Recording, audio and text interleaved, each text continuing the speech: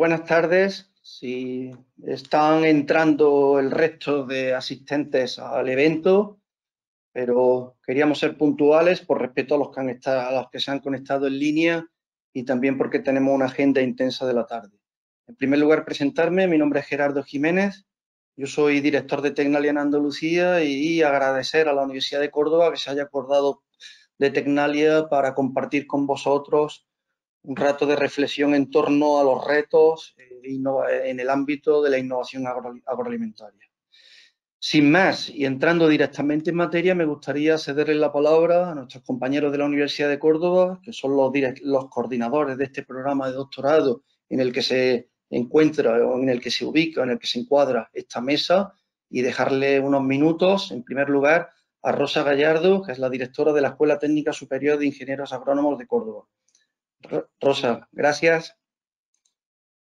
Pero pues, buenas tardes a, todos. Muchísimas gracias, Gerardo, y muchísimas gracias a Tecnalia por darnos también la, oportunidad de realizar esta visita virtual y de tener esta, esta sesión en la que vamos a conocer de primera mano, yo creo que es una de las empresas líderes en este, en este ámbito y bueno, es, un lujo poder disfrutar de la sesión que vamos a tener esta, esta tarde.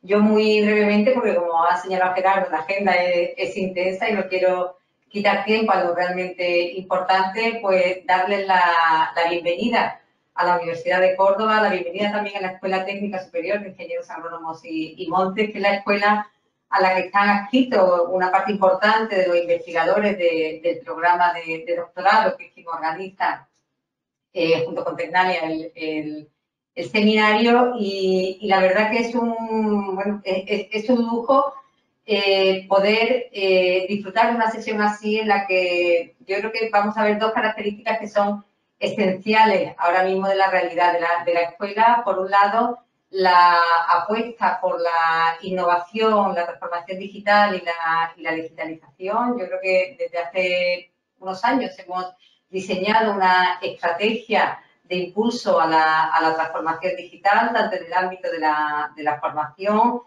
permeando todos nuestros títulos con, formación en digitalización, con un máster también en, en transformación digital del sector agroalimentario, participando en iniciativas de formación y capacitación con distintas empresas también y administraciones, como es la, puesta en marcha con el Ministerio de, Agricultura del Centro para la Capacitación en Competencias Digitales en el sector agroalimentario. Por un lado, esa, apuesta en la, formación y por otro lado, bueno, pues la apuesta también por el impulso a la digitalización a través de proyectos de investigación, de innovación y, y transferencia de la mano de, empresas también. Esa es la segunda característica que quería, que quería señalar. Yo creo que las alianzas con empresas siempre ha sido algo que ha caracterizado a esta, escuela y algo de lo que nos sentimos orgullosos, eh, sobre todo por la, porque son alianzas que se basan en la, en la confianza y yo creo que la alianza que tenemos con Tecnalias es, una buena prueba de, y muestra de, ello y bueno, pues encantado de poder eh, trabajar juntos y abordar eh, actividades también juntos y yo simplemente bueno, pues felicitar también por la magnífica acogida que ha tenido el, seminario, que, que, casi más de 70 eh, personas y bueno, pues la verdad que, es un lujo y pues nada, deseando escucharos y, poder disfrutar y conocer mejor a, la empresa y poder realizar esa, esa visita virtual. Así que Muchísimas gracias y, nada, encantada de, poder estar aquí. Pues muchas gracias, Rosa. A continuación, nos gustaría un poco que encuadre esta sesión dentro del programa de doctorado cuyo director es José Emilio Guerrero y que lo tenemos también acompañándonos. José Emilio. Muy buenas tardes, Gerardo. Buenas tardes a todos los que estáis asistiendo a esta sesión. Eh, mi nombre, como han dicho, soy José Emilio Guerrero, coordinador del programa interuniversitario de Ingeniería Agraria, Alimentaria, Forestal y del Desarrollo Rural Sostenible. Y que es difícil que encuentre nadie de ustedes algo que no lo contemplemos en nuestro imaginario. Eh, pero muy importante, tiene un hilo conductor, es un máster impulsado por dos universidades, la de, la de Sevilla y la de Córdoba. Córdoba es la universidad coordinadora, pero además participan como socios de pleno derecho en el, en el programa de doctorado el Consejo Superior de Investigaciones Científicas, con dos de sus centros emblemáticos, el Centro de Agricultura Sostenible y el Centro de Estudios Sociales Avanzados, y también el Instituto Andaluz de Formación Agraria y Pesquera. Un programa complejo que tiene más de 270 investigadores potenciales directores de tesis y tiene su principal riqueza en un elenco de, estudiantes, de aspirantes al doctorado de muchas partes del mundo, que es nuestra riqueza, nuestra diversidad. En esto, como me pide Gerardo, eh,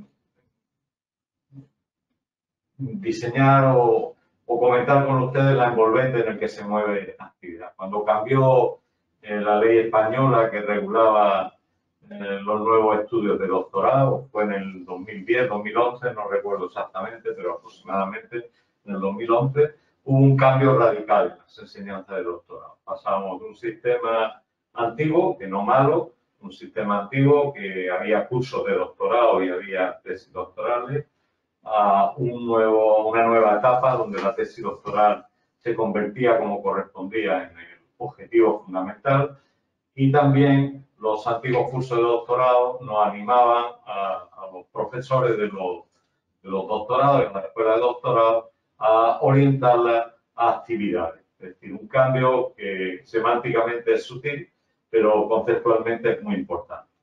Cuando tuvimos todas las reuniones, los promotores de este programa, eh, que fue nuestro intento, que no sé si lo hemos conseguido en toda su dimensión, pero seguimos perseverando, intentamos diseñar algunas actividades que fueran muy útiles para el presente y sobre todo para el futuro de nuestros doctorandos.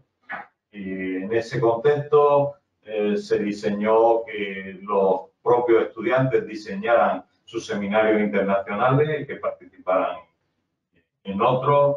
Eh, dedicamos un módulo a no olvidar la relación con las empresas y con la filosofía del emprendimiento y del papel de la generación del conocimiento en, ese emprendimiento y una serie de cuestiones eh, menos llamativas pero igualmente importantes, pero sobre todo se nos ocurrió en aquel momento y cada vez estamos más contentos eh, cómo dar la oportunidad a nuestros estudiantes de doctorado y a los profesores de este programa de doctorado que pudieran tener una visión cercana y cabal de centros de investigación de desarrollo tecnológico que fueran de avanzada, en el cual pudiéramos ver cómo se hace la investigación y la innovación en otros centros y sin ninguna duda siempre eh, que pensamos en, cuál es el nuevo, la nueva visita, eh, siempre pensamos en Ternalia.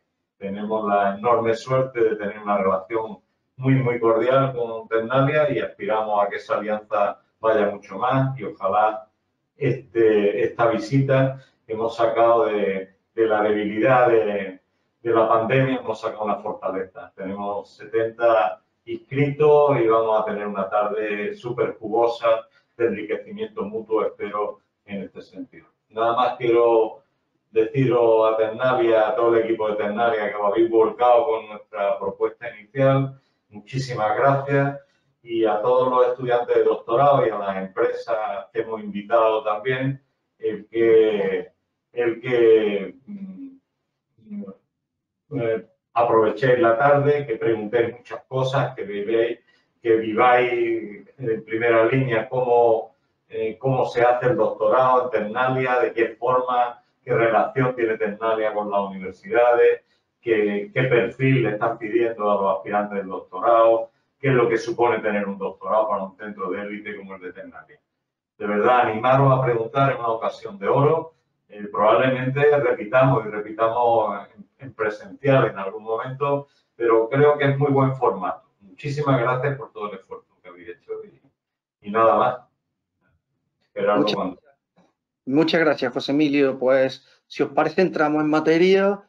La sesión se compone de dos bloques. Un primer bloque en el que pretendemos presentar Tecnalia, pero desde el punto de vista de oportunidad que tiene de empleo cualificado, un sumidero de captación de talento en general en todos los centros tecnológicos. Es implanteable en ningún centro tecnológico en el mundo que no esté mirando al empleo cualificado como su gran oportunidad de futuro y en ese sentido nos gustaría presentar Tecnalia bajo ese punto de vista. ¿Qué hacemos y cómo lo hacemos?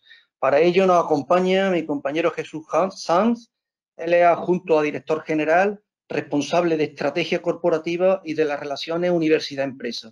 Antes de darle la palabra, solo enviaros un saludo a todos de nuestro director general Jesús Valero, que además es muy relacionado históricamente con la, Universidad de, Córdoba, que le apetecía haber estado con nosotros, pero que por motivo de agenda no nos ha podido acompañar, pero nos envía un saludo a todos. Así que Jesús, adjunto director general y eh, responsable de estrategia corporativa y de la relación universidad-empresa. Tienes la palabra, Jesús. Muchas gracias, Gerardo. Me toca a mí hacer eh, las presentaciones, ¿no? Acercaros a lo que es hoy en día Tecnalia. Lo voy a intentar eh, hacer lo más breve posible y voy a intentar no aburriros mucho con, datos y con, y con eh, cuestiones que no vienen a cuenta ahora en esta, en esta sesión, ¿no? lo primero, mira, lo mejor es que os pongo primero un vídeo muy visual donde os explicamos qué, es Tecnalia. Espero que lo...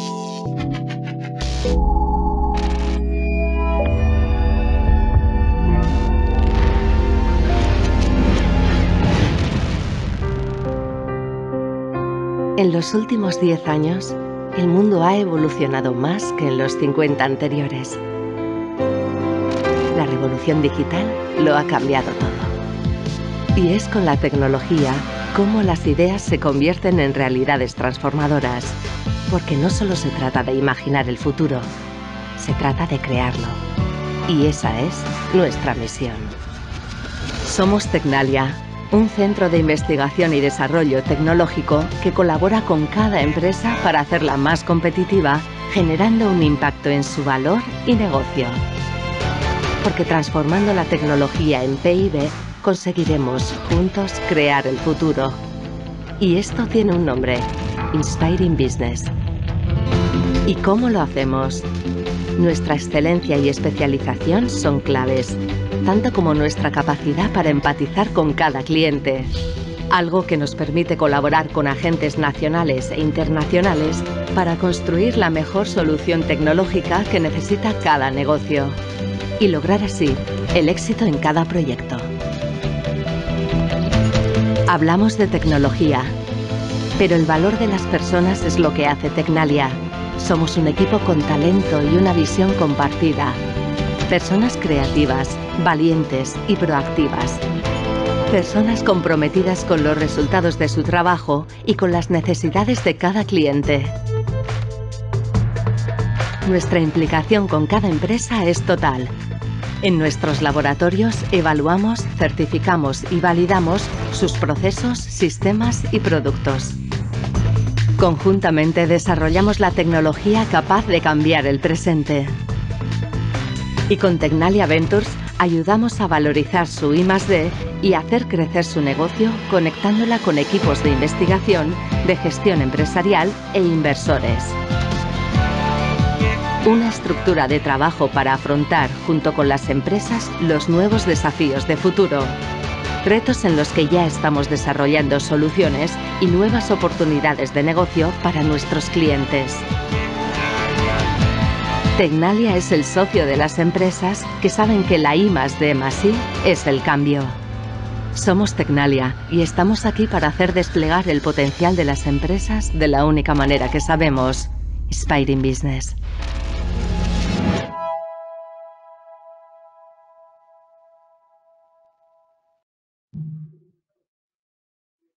Bien, pues eh, esta es una, primera píldora de presentación que os complemento ahora con algunos datos. Eh, eh, espero que estéis viendo.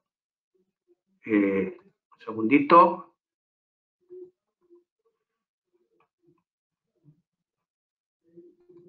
¿Estáis viendo mi presentación? Sí, ¿no? Bien, pues os, completo con algunos datos. En primer lugar, ya hemos mencionado, somos un centro de investigación y desarrollo tecnológico.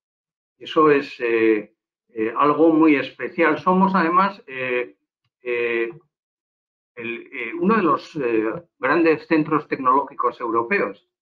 En concreto, somos... un segundito. ¿Estáis viendo la presentación? Sí, pero si la pone a pantalla completa, Jesús. Sí, es que tengo aquí un conflicto con... Eh,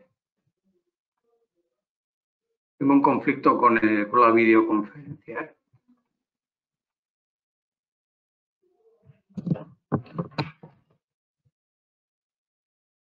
¿Veis ahora mejor? ¿Veis completo? Sí. Bueno, ahora. Eh, somos, os decía, eh, disculpad, eh, eh esto, somos un centro de investigación y desarrollo tecnológico, somos el sexto centro tecnológico en tamaño, en dimensión, junto con Fraunhofer, Teneo, Sintef, VTT, que son algunos de nuestros aliados europeos. El ser centro tecnológico nos permite ocupar un espacio muy, muy interesante en la cadena valor de la investigación del I+.D. Ahí veis en, este slide cuál es nuestra posición. Eh, cubrimos eh, todas las etapas, desde investigación básica a la investigación aplicada hasta el desarrollo tecnológico. Nuestra particularidad y algo que nos diferencia de otros tipos de agentes es nuestra proximidad al mercado. Nos diferenciamos en ese sentido de otros centros de investigación eh, de excelencia de ciencia más básica. Eso es un, sello de identidad. Nuestra misión es transformar eh, tecnología en, Producto Interior Bruto, eso es decir, eh, en impacto económico y social. Eso también es, está en nuestro ADN. Eh, estamos presentes en un montón de sitios, aunque nuestra, nuestra principal fuerza de trabajo está en el País Vasco, donde tenemos sedes en, todos los parques tecnológicos. También estamos implantados en Aragón, en Madrid, en Andalucía. En Europa tenemos en Francia una fuerte implantación, Italia, Serbia, en, el resto del mundo, en China, México, Colombia, Ecuador. Yo esto lo menciono porque eh, algunos de los eh, doctorandos eh, sois de otros países, ¿no? tenéis también aquí eh, opción de, participar, de interrelacionaros con, con Tecnalia fuera, fuera de España. Algunas cifras.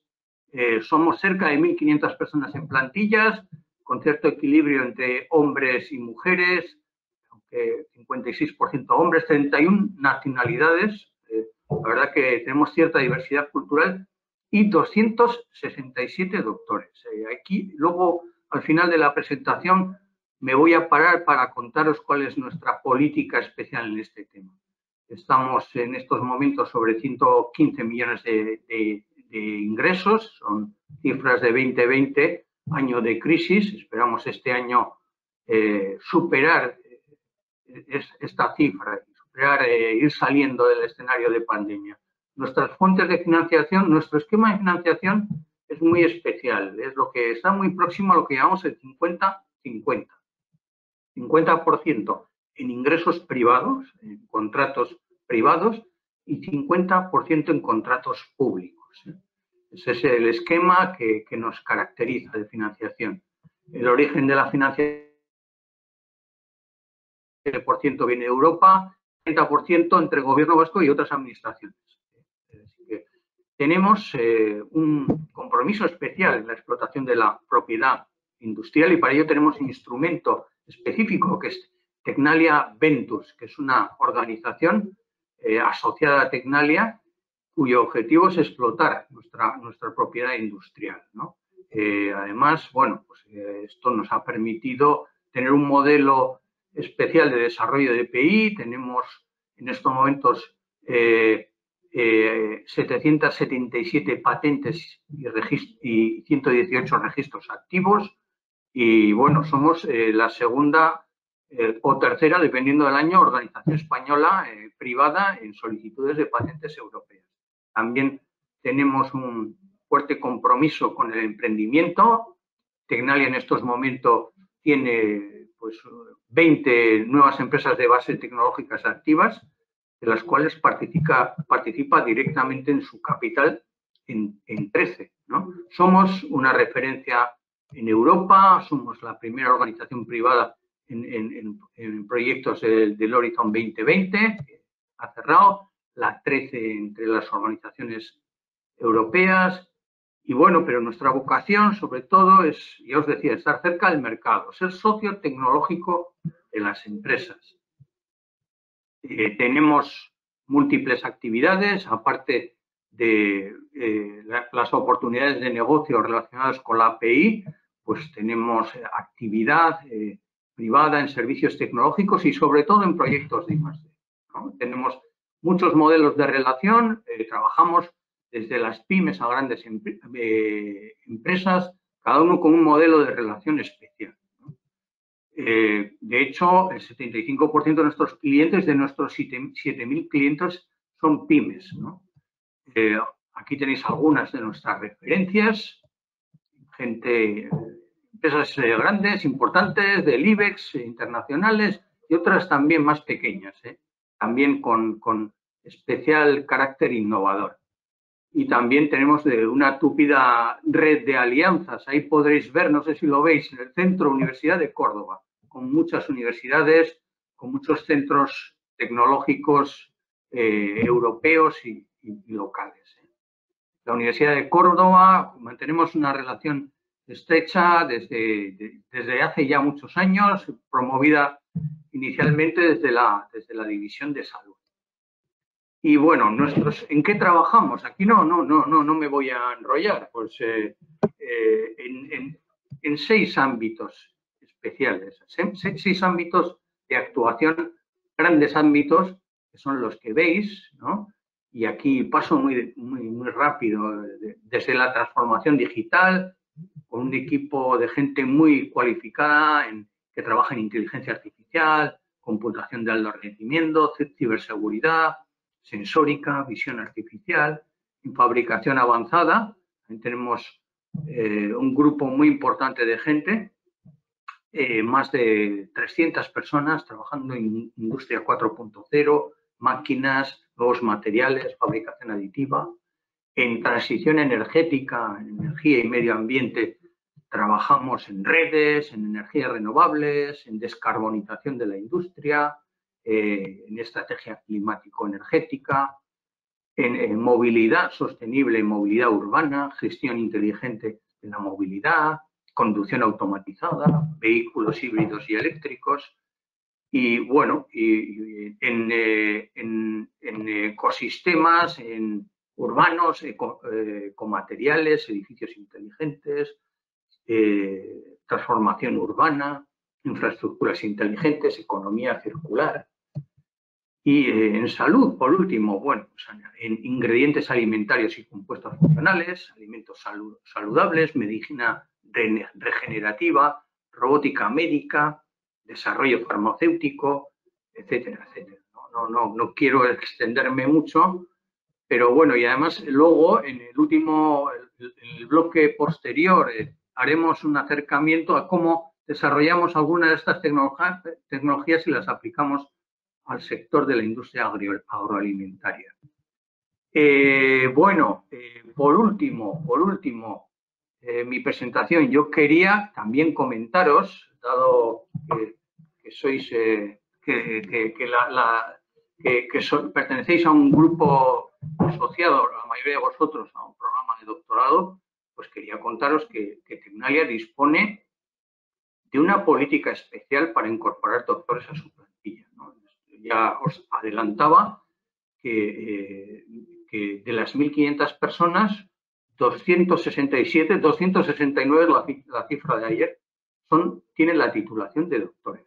Esto es muy, muy importante, obviamente, para un centro de investigación. No se concibe un centro de investigación sin doctores. Y por tanto, Tecnalia tiene una estrategia especial con respecto a la titulación. Queremos eh, mejorar estas cifras sensiblemente. Ya tenemos eh, en estos momentos 132 doctorandos en plantilla, eso es casi el 10%. ¿eh? Y más del 10% si lo restringimos a, eh, los investigadores. Bueno, pues esto, eh, ¿en qué se traduce esta estrategia? Bueno, pues tenemos en los procesos de selección, pues normalmente, salvo excepciones, suele ser una titulación requerida, requerida, un requisito, ¿no? Prioritario, ¿no? Algo a priorizar a la hora de hacer una selección, Tenemos un programa interno de fomento del doctorado, pues porque queremos animar a que la gente de nuestra plantilla, eh, pues, eh, obtenga la titulación. Una tesis doctoral, además, ya sabéis, implica un trabajo de investigación y con eso, pues, eh, damos, un, un enfoque a nuestra investigación de, medio a medio largo plazo eh, y para llegar eh, luego a mejor al mercado. Eh, y además, bueno, pues entenderéis que esto del doctorado no se puede hacer sin la, sin la universidad. Y por tanto, pues tenemos una política especial de, acuerdos con universidades pues, pues, dirigida a, pues, a colaborar y, entre otras cosas, a, conseguir eh, más doctores. Eh, este es un esquema que veis, y con esto acabo, de los instrumentos que solemos utilizar, que solemos activar en nuestra relación con la universidad, tanto para doctores como para colaborar en investigación. Este es un esquema que vamos a intentar replicar en, la mayoría de las universidades con las que tenemos relación y que pues tenemos eh, ahora plenamente desarrollado con las universidades locales, con la Universidad del País Vasco. Esto, es, esto que veis eh, está hecho, eh, es lo que implica los instrumentos que contempla nuestro acuerdo con la UPV, pero que desearíamos también aplicar con, con otras universidades, incluyendo la, la de Córdoba, ¿no? Y ahí, bueno, pues tenemos de todo. En, muchas de las, eh, de las eh, universidades, eh, con muchas de las universidades con las que tenemos una relación especial de colaboración, pues esa relación está basada en los proyectos de cooperación, es el motor básico para la relación, para la colaboración. Y también en algunos casos tenemos aulas o cátedras, ¿no? o cátedras tecnológicas, espacios especiales de, colaboración académica, que bueno, también están muy relacionados con los proyectos. Todos esos instrumentos están eh, relacionados. También eh, tenemos programas para el impulso de las tesis doctorales. Programas, sobre todo, que nos gusta hacer las tesis en codirección, eh, con un profesional, con un doctor de Tecnalia y un doctor de la universidad guiando el, trabajo del doctorando. Incluso, bueno, con algunas ah, universidades, tenemos acuerdos específicos para lanzar contratos predoctorales. Y bueno, y, en otro orden de cosas, pues tenemos también, o incluso oficina para promover proyectos conjuntos internacionales, investigadores de doble afiliación, eh, laboratorios compartidos, o, eh, redes de excelencia, en temáticas concretas, con la UPV tenemos cuatro, eh, y luego em, también, bueno, este es un instrumento ya eh, último, es la acción COVID en respuesta a la, pandemia. Y bueno, pues eh, con esto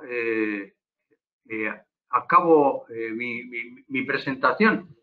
yo os tengo que dejar ahora mismo porque tengo un compromiso rápido, sabes tú, Gerardo, así que muy bien. Podéis, podéis eh, si queréis, preguntar eh, ahora eh, y, o si no, bueno, pues dejar las preguntas en el chat, ¿no? Sí. Sí, habíamos previsto la participación de todos los asistentes de dos formas posibles. Aprovecho para adelantarlo, aunque la parte de debate está más, más pensada para los talleres temáticos, pero adelanto... Bueno, si, alguien tiene alguna pregunta, eh, que la haga y, si no, pues eh, tenemos el chat y eh, nos ocuparemos de responderla. ¿Alguna pregunta en directo?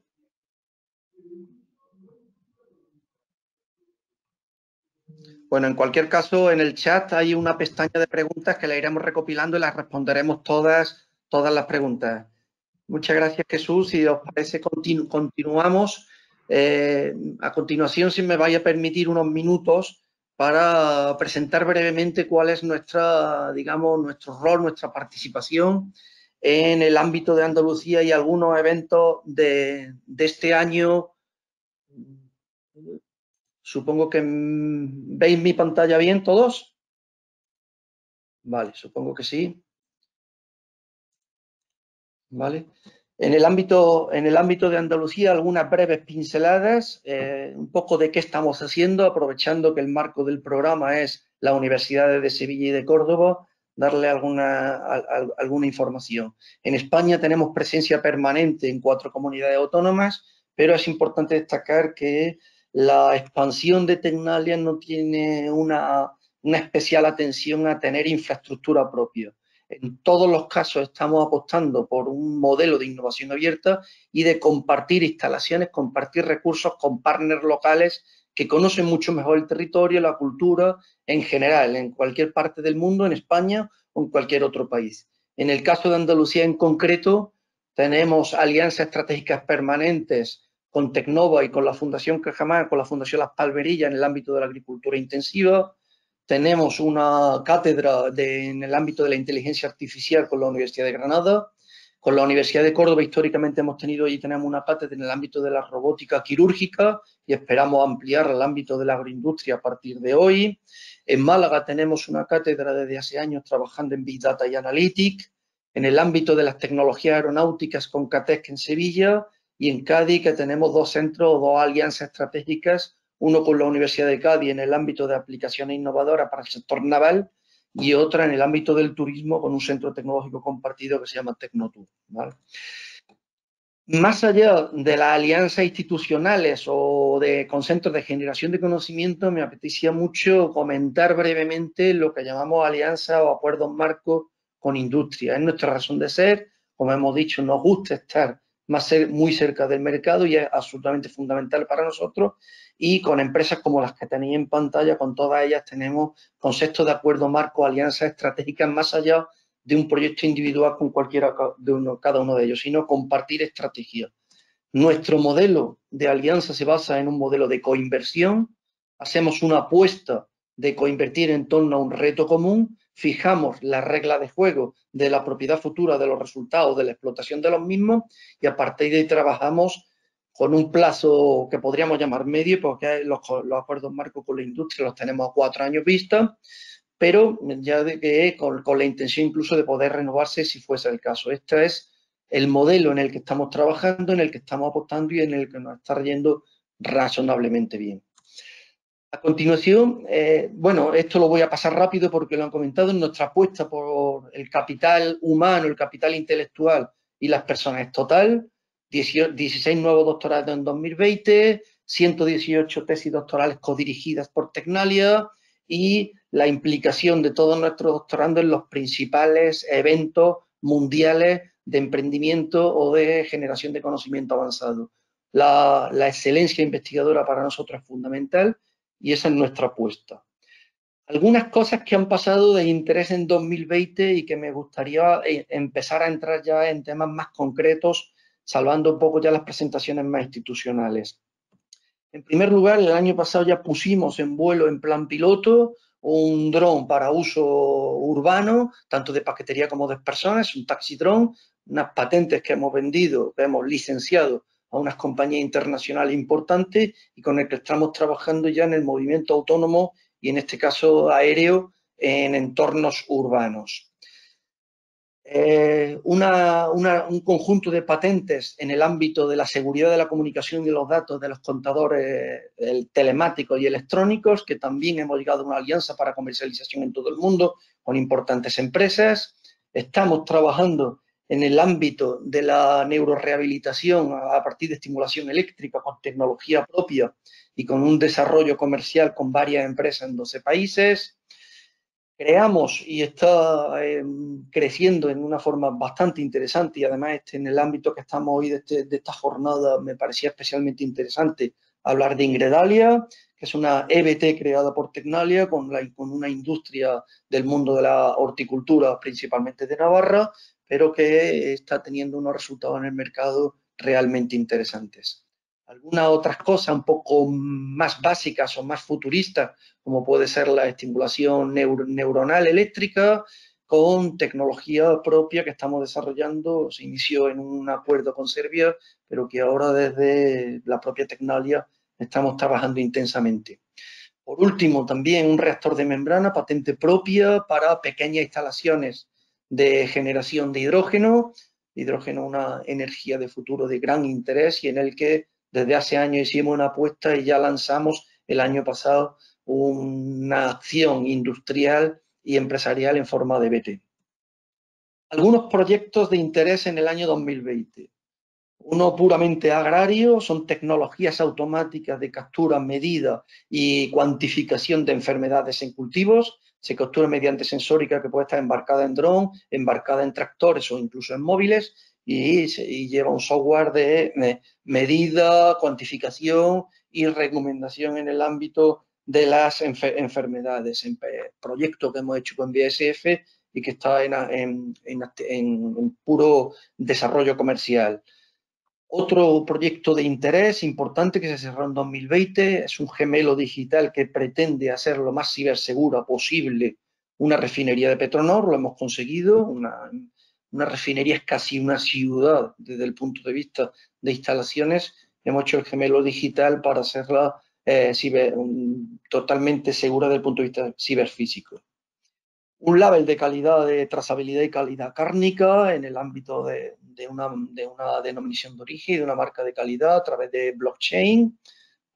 Y algunas instalaciones de referencia que se inauguraron, se inauguraron el año pasado, porque veis lo último en lo que estamos invirtiendo desde el punto de vista de infraestructura. Un nuevo laboratorio de impresión 3D de morteros y hormigones que se inauguró el año pasado, así como un nuevo laboratorio para gestión inteligente de la energía eléctrica en sistemas de alta tensión. Son para, es un, nodo de 100.000 kilovoltios en bucle que nos permite ensayar y gestionar eh, corrientes de alta tensión eléctrica. Con esto eh, mi presentación y la anterior de mi compañero Jesús, damos un poco por cerrado el primer bloque y me gustaría entrar directamente para aprovechar al máximo el tiempo posible en la segunda parte de la jornada. En esta parte sí que os pediría ya participación a todos los asistentes. Nos gustaría tratar a modo de idea fuerza de oportunidades de futuro, de oportunidades de empleo y de negocio en los próximos años, tres bloques temáticos uno en el ámbito de la alimentación y el futuro de los alimentos, o el, otro en el ámbito de la industria 4.0, de la era digital industrial, y otro en el ámbito de la energía. En cada uno de los bloques hemos previsto la participación del responsable del área en Tecnalia, que dará unas pinceladas a modo, como decía antes, de ideas, fuerza, de mensajes, de oportunidad, pero además nos ha parecido especialmente interesante darle la palabra a algunos de nuestros doctorandos jóvenes que están trabajando con nosotros en estos ámbitos y que les gustaría compartir con vosotros pues, la experiencia que están teniendo eh, en, su, en su trabajo en Tecnalia. Sin más y entrando en materia, como antes decía, podéis ir lanzando las preguntas que consideréis en el panel desplegable de la derecha que pone preguntas o también eh, dentro del panel en asistentes podéis levantar la mano y os daríamos la palabra en persona para que podáis participar. Le dejo la palabra a mi compañera Mari Carmen Villarán. Mari Carmen Villarán es la directora del área de alimentación saludable en Tecnalia, que junto con Lucía Camino Díez, que es una chica doctorando en salud que está en su ámbito, de, en, su, en su área de trabajo, pues le gustaría compartir con vosotros algunos aspectos relacionados con la alimentación saludable o el futuro de los alimentos. Mari Carmen. Sí, hola, buenas. Sí, eh, Sí, buenas tardes. Voy a intentar compartir un, un vídeo.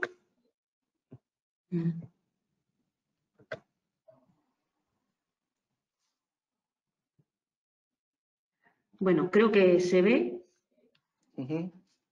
Entonces, bueno, en primer lugar, muchas gracias, Gerardo. Muchas gracias a la Universidad de Córdoba por la oportunidad. Y bueno,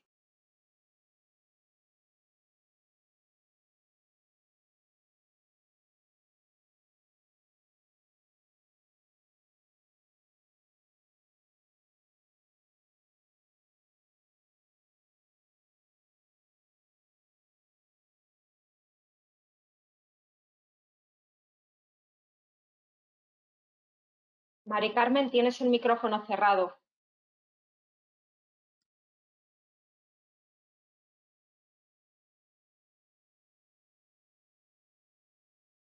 Mari Carmen, tiene el micrófono cerrado.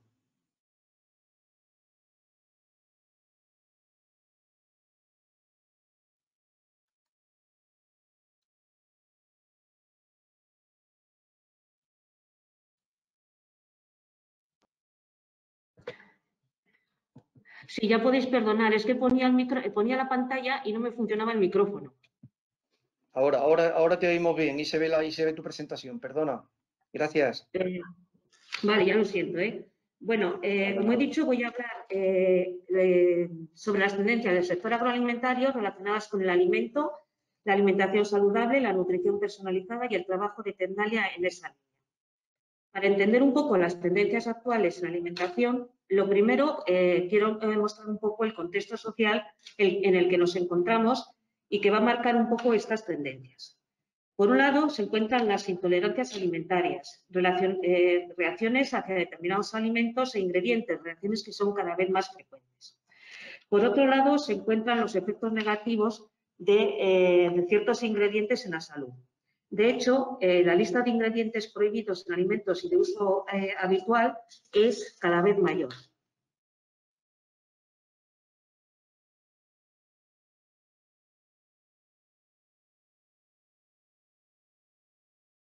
Carmen, te ha vuelto a silenciar. Ya lo siento. Una, una tercera tendencia es que la población envejece. Se espera que en el 2031 el 26% de la población tenga más de 65 años. Ello trae consigo el incremento de ciertas enfermedades crónicas. Por otro lado, el consumidor está concienciado del efecto de la alimentación en la salud. Los últimos acontecimientos han intensificado esta evidencia. Nuestra dieta determina nuestra calidad de vida. Nuestra dieta puede contribuir al fortalecimiento del sistema inmune y a la prevención de enfermedades. Por otro lado, nos encontramos con una legislación cada vez más estricta que afecta tanto al producto final como al proceso productivo. Tenemos una, eh, tenemos una preocupación cada vez mayor por el medio ambiente. El consumidor demanda productos sostenibles, además de un escenario de población creciente, por lo cual es necesario reducir la pérdida de alimentos y buscar nuevas fuentes alternativas de ingredientes y alimentos. El consumidor, por otro lado, busca alimentos adaptados a su estilo de vida, de mayor duración, nuevos formatos y texturas, nuevas sensaciones, no renuncia al placer de comer. El consumidor es un consumidor hoy en día conectado. Las redes forman parte de nuestra vida, para la compra y para transmitir nuestras experiencias culinarias. Teniendo en cuenta todo ello, ¿cuáles van a ser la alimentación? Primero, el bienestar personal y dietas personalizadas. Alimentos funcionales que ayuden a la prevención de enfermedades, adaptados a los diferentes grupos poblacionales como deportistas, mayores, etcétera, e incluso alimentos adaptados a la propia persona. Por otro lado, alimentos naturales, reducción de aditivos químicos y alimentos menos procesados. Por otro lado, alimentos y procesos sostenibles que garanticen la biodiversidad para las generaciones futuras. Nuevas experiencias, nuevas sensaciones, alimentos que lleven al consumidor a mundos exóticos o que ayuden a recordar experiencias vividas. Fórmulas para ahorrar tiempo y dinero, adecuadas al ritmo de vida actual. Alimentos de fácil preparación, listos para comer, nuevos formatos. Y finalmente, nuevas alternativas tecnológicas, como por ejemplo los alimentos 3D. Con ello, la industria alimentaria debe dar respuesta a claras demandas del consumidor por un lado, ingredientes naturales, obtenidos a partir de fuentes naturales y mediante procesos no químicos. Alimentos enriquecidos en nutrientes específicos que ayuden a lograr una dieta equilibrada y aportar compuestos esenciales que por nuestro estilo de vida, de vida pueden ser deficitarios. Por ejemplo, alimentos ricos en fibra, alimentos enriquecidos en omega 3. Ingredientes y alimentos funcionales que contribuyan a la prevención de ciertas enfermedades y al fortalecimiento del sistema inmune. Alimentos clean label, libres de aditivos químicos y etiquetas claras. Por otro lado, busca alimentos sostenibles de bajo impacto ambiental, nuevas fuentes de ingredientes más sostenibles que reduzcan el impacto ambiental de la cadena alimentaria. Nuevos formatos y texturas adaptados al ritmo de vida de las personas, a los diferentes grupos de población. Snack para comer entre horas, alimentos con texturas específicas para personas con disfagia, etc. Alimentos sin, sin compuestos no deseados, sin grasas saturadas, sin azúcar, sin gluten. Alimentos con etiquetado transparente, claro, fácil de entender. Sustitución de proteínas animales por otras proteínas alternativas, dietas veganas, carne cultivada. Bebidas botánicas como alternativas a las bebidas alcohólicas para momentos de ocio. Envases inteligentes que no solo sirvan para proteger el alimento, sino para dar eh, al consumidor una información sobre el estado del mismo. Nuevos sabores, sabores exóticos y diferentes que aporten al consumidor nuevas experiencias o revivir experiencias. Alimentos kilómetro cero, alimentos cercanos, alimentos con historia.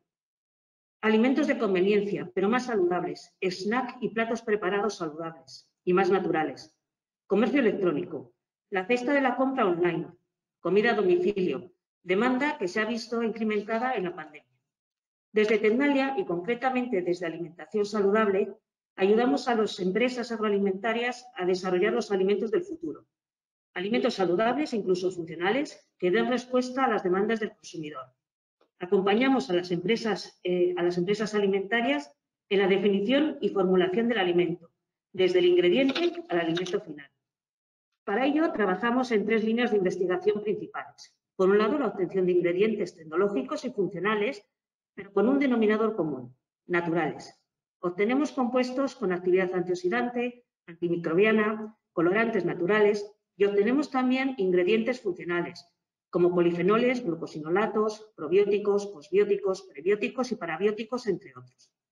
Estos compuestos son obtenidos a partir de diferentes materias primas, como microalgas, plantas o incluso subproductos agroalimentarios, empleando tecnologías físico-químicas y biotecnológicas. Compuestos que posteriormente son purificados analizados y evaluada su actividad in vitro, su funcionalidad y posible toxicidad.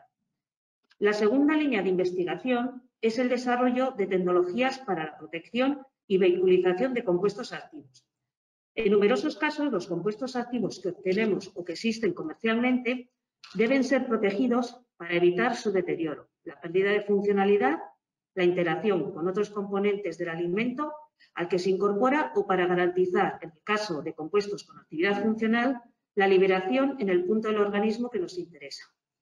Para ello, en Tecnalia aplicamos tecnologías de micro y nanoencapsulación. Disponemos de un amplio portfolio de tecnologías especialmente adecuadas para el sector alimentario. Una vez encapsulado el compuesto, disponemos de los medios para llevar a cabo la caracterización de la cápsula y la evaluación in vitro de toxicidad y biodisponibilidad. Adicionalmente, trabajamos con recubrimientos comestibles para la adición controlada de antimicrobianos y antioxidantes para alargar la vida útil de alimentos mediante vías naturales. Y por último, nuestra tercera línea de investigación está orientada al desarrollo de alimentos y tecnologías para mejorar las propiedades y el valor nutricional de los alimentos. Desarrollamos alimentos funcionales y complementos alimenticios orientados a la prevención de enfermedades de alta incidencia, como el síndrome metabólico, cardiovasculares, neurodegenerativas. Trabajamos en la mejora de las propiedades y la calidad de los alimentos, incremento de la vida útil de los alimentos de forma natural, mejora de las propiedades organolépticas o reducción de compuestos no deseados como el azúcar, conservantes químicos, grasas saturadas, etc. Aplicamos tecnologías innovadoras para incrementar el valor nutricional en alimentos y desarrollar, alimentos más saludables. Mejoramos la biodisponibilidad de ingredientes, la digestibilidad, etc.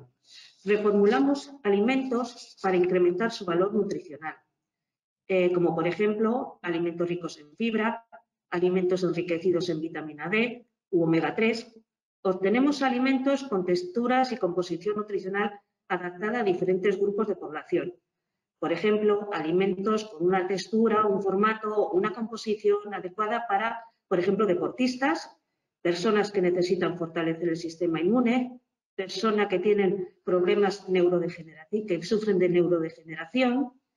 Para ello, disponemos de los medios y el conocimiento para ayudar a las empresas agroalimentarias a desarrollar los ingredientes y alimentos que ayuden a mejorar la calidad de vida de las personas. Contamos con infraestructuras y personal especializado y apostamos por la formación de nuevos investigadores. Por ello, Tecnalia apuesta por la formación de nuevos doctores como Lucía, que ahora mismo os va a hablar un poco de la experiencia que tiene ella dentro de lo que es Tecnalia y concretamente en el área de alimentación saludable. Gracias, Mari Carmen. Lucía. Sí, sí. Hola, eh, ¿me podéis ver? Sí, sí, bien, muy bien. Bueno, eh, pues yo soy Lucía em, y estoy realizando el doctorado aquí en, el área de alimentación saludable de la División de Salud de Tecnalia. Eh, yo previamente hice un grado en biología por la Universidad de Oviedo y una doble titulación de máster en, en biotecnología del medio ambiente y la salud en Oviedo y en eh, The Food Chain System en, en la Universidad de Cranfield. Eh, cuando decidí qué quería hacer en mi, en mi futuro, decidí buscar un doctorado y entonces eh, buscando ofertas en LinkedIn apareció eh, una oferta de doctorado en Tecnalia. eché a esta, a esta solicitud y entonces con una carta de presentación y mi currículum pues eh, fui seleccionada para realizar una entrevista online. Una vez eh, pasada esta entrevista online, eh, me convocaron para hacer una entrevista presencial y para enseñarme las instalaciones de aquí de Tecnalia. Una vez aceptada mi, mi, candidatura en Tecnalia, tuve que hacer una aplicación para el programa de doctorado en la Universidad del País Vasco y una vez formalizado todo ya pasé a formar parte de, ya empecé eh, el doctorado. Em, este puesto de doctorado se caracteriza de cuatro años, en el que los dos primeros años eh, es una beca y luego los dos años siguientes eh, paso a ser em, a un contrato en prácticas. durante este tiempo, actualmente estoy en mi último año de doctorado y eh, bueno, eh, durante todo este tiempo he podido observar cómo, em, a diferencia de un doctorado en, una universidad o en un ámbito más académico, que se centra más en la creación de conocimiento, eh, en un sitio como Tecnalia se centra más en ver cuál va a ser la aplicabilidad de esta investigación y ver cómo puede esto satisfacer las necesidades actuales de las empresas. por ello, eh, yo eh, principalmente mi investigación se centra en la obtención de un nuevo eh, ingrediente probiótico enriquecido con compuestos em, bioactivos denominados postbióticos, que son producidos por, este, por estos microorganismos probióticos. en el laboratorio principalmente he aprendido diferentes partes del proceso de producción de este ingrediente en primer lugar, llevé a cabo un proceso de aislamiento, de caracterización de estos microorganismos probióticos y eh, eh, realicé diferentes estudios de crecimiento y de producción de estos compuestos eh, postbióticos y esto me permitió aprender diferentes técnicas del campo de la microbiología. a continuación, una vez obtenido el microorganismo probiótico, eh, llevé a cabo una serie de estudios de optimización de la producción de estos compuestos eh, para ver los factores que son más importantes a la hora de producir estos compuestos. Y esto me permitió, aparte de centrarme en, el campo de la microbiología, también conseguir nociones eh, de cromatografía líquida y entrar en un campo que previamente no había trabajado. también para intentar proteger y estabilizar estos compuestos, también eh, he ido aprendiendo diferentes técnicas de encapsulación y de estabilización, como es el spray dryer o eh, el jet cutter o otra serie de equipos que permiten la creación de cápsulas que van a proteger a estos microorganismos para que lleguen viables al intestino donde van a realizar su función. bueno, he ido aprendiendo los diferentes pasos para la creación de estas cápsulas, para optimizarlas y para caracterizarlas para que luego en el producto final sean sean capaces de sobrevivir estos microorganismos. Eh, también eh, he ido trabajando en diferentes ensayos de citotoxicidad y biodisponibilidad con diferentes líneas celulares, además de, bueno, pues eh, todo esto lo he, ido, lo he ido aprendiendo debido a que nuestro área se compone de un equipo multidisciplinar y esto me ha permitido ir explorando pues diferentes ámbitos eh, de, la, investigación en alimentos. Eh, estas investigaciones me han permitido hasta ahora eh, ser parte de, una patente y de diferentes capítulos, además de diferentes artículos que están en, en, marcha. Y bueno, considero que esto es una gran oportunidad para mí para, para enfocar mi carrera investigadora y bueno, si hay alguna pregunta, pues eh, bueno, eh, quería también pedir disculpas porque creo que no, no ha salido nada del vídeo que estábamos proyectando. Gerardo, ¿se ha visto el vídeo o no? Han salido las imágenes de los laboratorios conforme iba hablando, yo creo que sí, no en forma vídeo, sino en forma de, de PowerPoint, aparentemente. Pues es que, según me ha dicho la gente que estaba escuchando, me ha dicho que no se veía el vídeo fuera. Bueno. Si es breve y lo quieres poner o como quieras. A ver, es que no sé si se va a ver. Si le das a compartir, abre la pestaña de mostrar vídeo. Ah, bueno, y debe de tenerlo.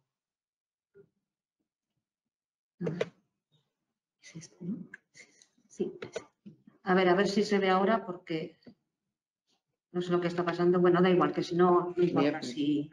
Mientras me gustaría animar a los, a los asistentes a ver si nos pudieran, eh, si tuvieran alguna pregunta en este ámbito, eh, estamos a su disposición. Pueden o bien levantar la mano para darle la palabra o, ponerla en el chat. Me pregunta, mm, Mari Carmen, preguntan eh, a través del chat de preguntas si hay cabida para perfiles más de tipo artístico creativo dentro de Tecnalia, aspectos relacionados como el diseño y que en, caso afirmativo, ¿cómo podrían informarse?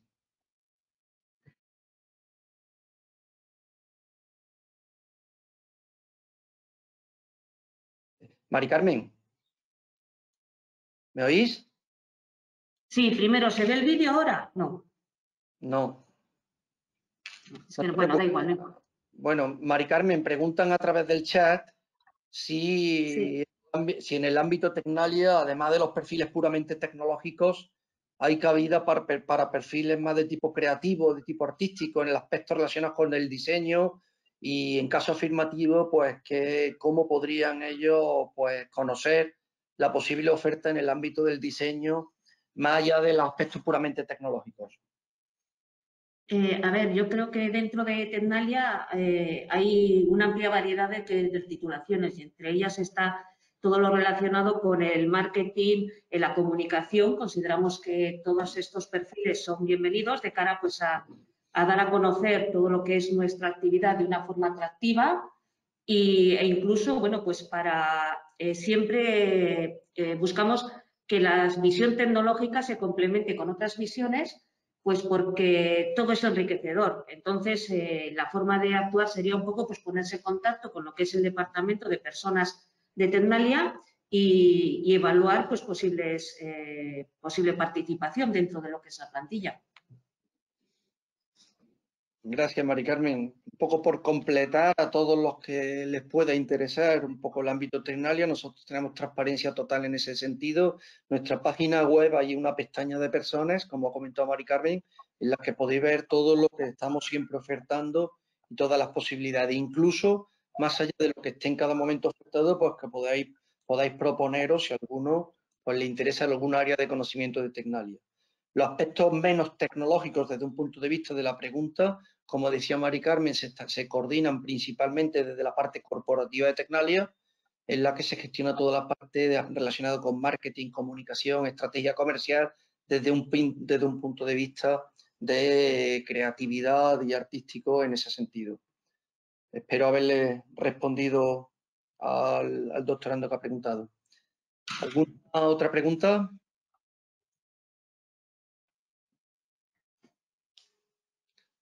No estoy seguro si tengo que darle la, mm, al altavoz de todos por si alguien quiere hablar o, o si levantan la mano. Sí, Gerardo. Sí, te oímos perfecto, sí. ¿Podemos hacer una pregunta? Lucía, ¿usted te ve trabajando dentro de cuatro o cinco años? ¿En qué condiciones? ¿Qué salario? ¿Qué localización geográfica? ¿Qué responsabilidad? ¿Puede ayudarnos a hacer ese esfuerzo proyectivo? Eh, vale. Eh, bueno, pues localización, nos encontramos, eh, nosotros estábamos en Vitoria, en el Parque Tecnológico de Miñano. yo durante los, durante los cuatro años, los dos primeros años estuve de becaria, bueno, con un contrato de becario de un salario de unos 15.000 euros. Y y luego el los dos eh, siguientes años pues eh, eh, estoy con un contrato de prácticas. pues de responsabilidades pues estoy, bueno, pues todo, todo, lo que estoy haciendo he ido desde cero aprendiendo y poco a poco he ido haciéndolo más por mi cuenta y, y hasta ahora ser más independiente. Siempre teniendo, bueno, pues el respaldo de la gente que, que me vaya orientando a cómo cómo seguir haciendo las, en las investigaciones. Eh, Lucía, muchas gracias por ese esfuerzo descriptivo, pero te pedía un esfuerzo prospectivo. ¿Cómo vas a construir tu futuro? ¿Dónde te ves dentro de cinco años? ¿Trabajando? ¿Dónde? ¿Qué? ¿En qué ámbito? Eh, ¿Qué papel le va a dar a la investigación en tu vida profesional? ¿Qué, ¿Qué, es lo que aspiras con todo el esfuerzo que estás haciendo de hacer un doctor? Eh, bueno, pues espero seguir en, el ámbito de la investigación. Eh, la verdad es que todavía no he pensado mucho qué va a ser, eh, qué hacer después cuando acabe el doctorado, pero bueno, con vistas a que estoy haciéndolo en Tecnalia y que también voy a obtener una mención industrial del doctorado y esperemos también una mención internacional, pues con toda esta formación eh, pues cuento eh, seguir avanzando en, el campo de la investigación. Muchas gracias. Gracias. ¿Alguna pregunta más? Nos quedan unos cuatro minutillos. Si alguien quiere hacer alguna pregunta más, pues estaremos encantados. Antes de que nos pudiera de cambiar de, de tercio a otro ámbito.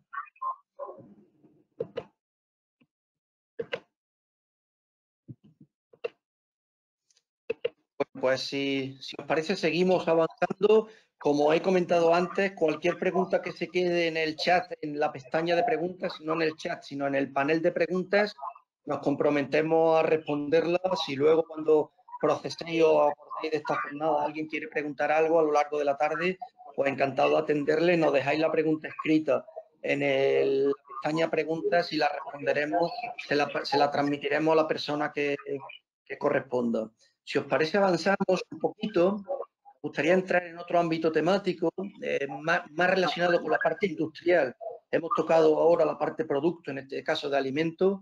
Nos gustaría entrar en la parte más industrial y para ello contamos con una compañera que es eh, experta en el ámbito de Smart System, en el ámbito de todo lo que es sistemas inteligentes, en el ámbito de industrial. Susana Pérez, a la que le agradezco que nos acompañe que haya hecho un hueco. Nos consta que está bastante ocupada permanentemente, es una persona importante dentro de ese área. Y no le, tanto, no tanto. le pedimos hace unas semanas que nos acompañase y Asedio, además, le acompañará, al igual que en el bloque primero de, alimentos, le acompañará Antonio Jesús Galvez, que es un doctorando de la, de la División de Industria y Transporte en la que se ubica Susana. Susana, te paso el testigo, te pongo como ponente y gracias de nuevo. Perfecto. Gracias, Gerardo. Todo tuyo. Muy bien, pues nada, encantada de estar este rato con, todos vosotros. Em, yo he preparado también una, presentación, pero bueno, eh, como sé que hay eh, un ratito después para turno de preguntas, voy a intentar ser breve. Como decía Gerardo, cambiamos de ámbito. El, el, título un poco de la presentación es La era digital, inteligencia artificial, industria 4.0. No sé cómo de familiarizados estaréis muchos de vosotros con estos términos, pero bueno, eh, sí que en los últimos años ha habido una ola bastante importante en cuanto a digitalización en procesos de fabricación, en general, en, cualquier sector industrial. Entonces, en Tecnalia eh, tenemos una división específicamente en industria y transporte. Nosotros pertenecemos a un área dentro de esa división que es Smart Systems. Y respondemos un poco a toda esta ola que comento de digitalización en procesos de, de manufactura industrial. ¿vale? Mm, el objetivo fundamental para cualquier cliente industrial es buscar un beneficio. ¿vale? Me gusta empezar con esta, con esta digamos, tesis o, hipótesis sobre el valor del tipo de proyectos que hacemos, porque es verdad que eh, lo que le preocupa a un, cliente industrial es su producción. Entonces, eh, normalmente solemos decir que no se trata de digitalizar por digitalizar, sino que hay que buscar e, ese camino que, pintamos ahí, ¿no? Desde el dato digital al conocimiento y a la información que te aporta y a cómo transformas eso en un beneficio, ¿vale? Porque al final maximizar la producción, la flexibilidad, la calidad es siempre el objetivo que se busca, ¿vale? Entonces, sí que queremos ligar muy bien ese camino porque al final es lo que le da valor a los resultados de nuestros proyectos. ¿Cómo hacemos eso? Bueno, pues dentro de, lo que preocupa a, un cliente industrial que normalmente produce o fabrica eh, en cualquier sector, ¿eh? desde fundición hasta una pieza de composite, eh, con formado metálico, piezas de automoción, hemos trabajado con industria alimentaria, luego tengo algunos ejemplos, o sea, cualquier sector. Pero normalmente siempre se rigen por parámetros que intento reflejar en esta transparencia, ¿vale? Hay una, hay una compensación entre los retos que, que tienen presentes en, en su producción, eficiencia, disponibilidad, ahorro de costes, calidad, transición energética, que ahora es muy importante, Pongo ahí varios, ¿vale? También la gestión de riesgos, eh, cómo conviven en la era de digitalización tareas manuales y sus operarios con todo este tipo de herramientas digitales que ahora empiezan a desplegarse, esa interacción, robots, colaboración entre humano y robot, interacción avanzada entre sistemas informáticos y los operarios que están a pie de planta. Hay un montón de retos relacionados, no todos resueltos además por la propia tecnología. Entonces ahí hay un camino y esa balanza es en, el que, en la que nos movemos habitualmente nosotros. Eh, esta transparencia la pongo simplemente porque es abrumadora, ¿vale? Entonces, eh, me sirvo de ella eh, para dos cosas. Una, para mm, visibilizar un poco la diferencia entre ambos mundos. nosotros muchas veces decimos que los que venimos, y yo me incluyo, de una capacitación digital, yo estudié ingeniería de telecomunicaciones, por ejemplo, ni siquiera yo soy capaz de explicaros toda esa terminología que ahora está ahí, ¿vale? Dentro de lo que se asocia como tecnologías habilitadoras la industria 4.0, hay cosas tan específicas eh, y tan complejas a la vez que ni yo misma me siento eh, legitimada para, hablar sobre ellas. Pero además está la complejidad de que dependiendo del dominio, dependiendo del cliente industrial al que te enfrentas, claro, para ellos es todavía más lejano. Muchos, muchos clientes están ahora embarcados en generar estructuras para ellos de digitalización que les apoyen, o gente que no esté únicamente en la parte de producción, sino que para ellos también es un mundo lejano. A veces nos cuesta incluso entendernos bien, ¿vale? Por eso lo pongo aquí, un poco porque dentro de este mundo de transformación digital hay mucha parte de acercar eh, especialización industrial o conocimiento muy específico del dominio y del sector con, capacidades digitales, ¿vale? Que suelen, suelen asociarse de una forma muy transversal, pero tiene que haber ahí una comunicación porque si no, no se llega a ese beneficio que ponía como objetivo yo al, principio, ¿vale? En Tecnalia, como he dicho, trabajamos en, diferentes ámbitos, ¿vale? Dentro de la división de industria, eh, pues bueno, hay una unidad eh, dedicada a la parte de, automoción, trabajan sobre todo en movilidad sostenible, vehículo electrificado, vehículo autónomo, eh, tenemos además demostradores dentro de, nuestros talleres, bueno, es, es, una de las grandes líneas, digamos. también dentro de movilidad eh, por los nuevos conceptos, ¿no? Igual habéis visto ahí, creo que alguna comunicación pública, incluso en YouTube, de la presentación de este aerotaxi, ¿no? Es una nueva línea de movilidad, probablemente para el futuro, en movilidad urbana. trabajamos mucho en lo que decía, ¿no? en ambientes de automatización y colaboración entre robots y operarios dentro de los procesos industriales, en el sector de máquina herramienta. Y eh, una de las cosas que me gusta destacar también es que en este, en este entorno de producción industrial hay un tipo de trabajador, donde decía lo de la contraposición de los mundos. ¿no? Nosotros muchas veces, por nuestra capacitación digital, pensamos siempre en que alguien está sentado delante de un ordenador, pero no es el caso. Eh, se le suele llamar deskless worker a, trabajador, a un operario que está en, fábrica y mm, el dato que destaco ahí es que Forbes hizo una encuesta bastante reciente eh, el año pasado donde decía que el 80% de la fuerza de trabajo es este perfil de trabajador que no está en un escritorio sentado con un ordenador e interactúa con un sistema informático digital. Sin embargo, solo el 1% de las inversiones de, en software van destinadas a ese perfil de trabajador. Entonces, para que veáis un poco la, paradoja en la que nos movemos con esto de la digitalización industrial. Y hay toda una línea muy interesante en torno a, cómo integrar el conocimiento humano de ese operario dentro de los bucles de desarrollo o entrenamiento de modelos basados en inteligencia artificial, ¿vale? que pasa incluso por cómo el humano puede interactuar y enriquecer lo que va aprendiendo el modelo, eh, además de los datos eh, que se están recogiendo en el propio proceso, hasta eh, flujos de recoger lo que, lo que ese operario conoce, porque lleva 30 años operando esa máquina, Cómo trasladar eso, objetivarlo y parametrizarlo para el modelo eh, que estás desarrollando ahí. De, inteligencia artificial. Pues bueno, es una gran línea. No voy a pararme en el detalle de esta transparencia, pero la incluyo solamente para que, para que veáis que normalmente trabajamos en diferentes planos, ¿vale?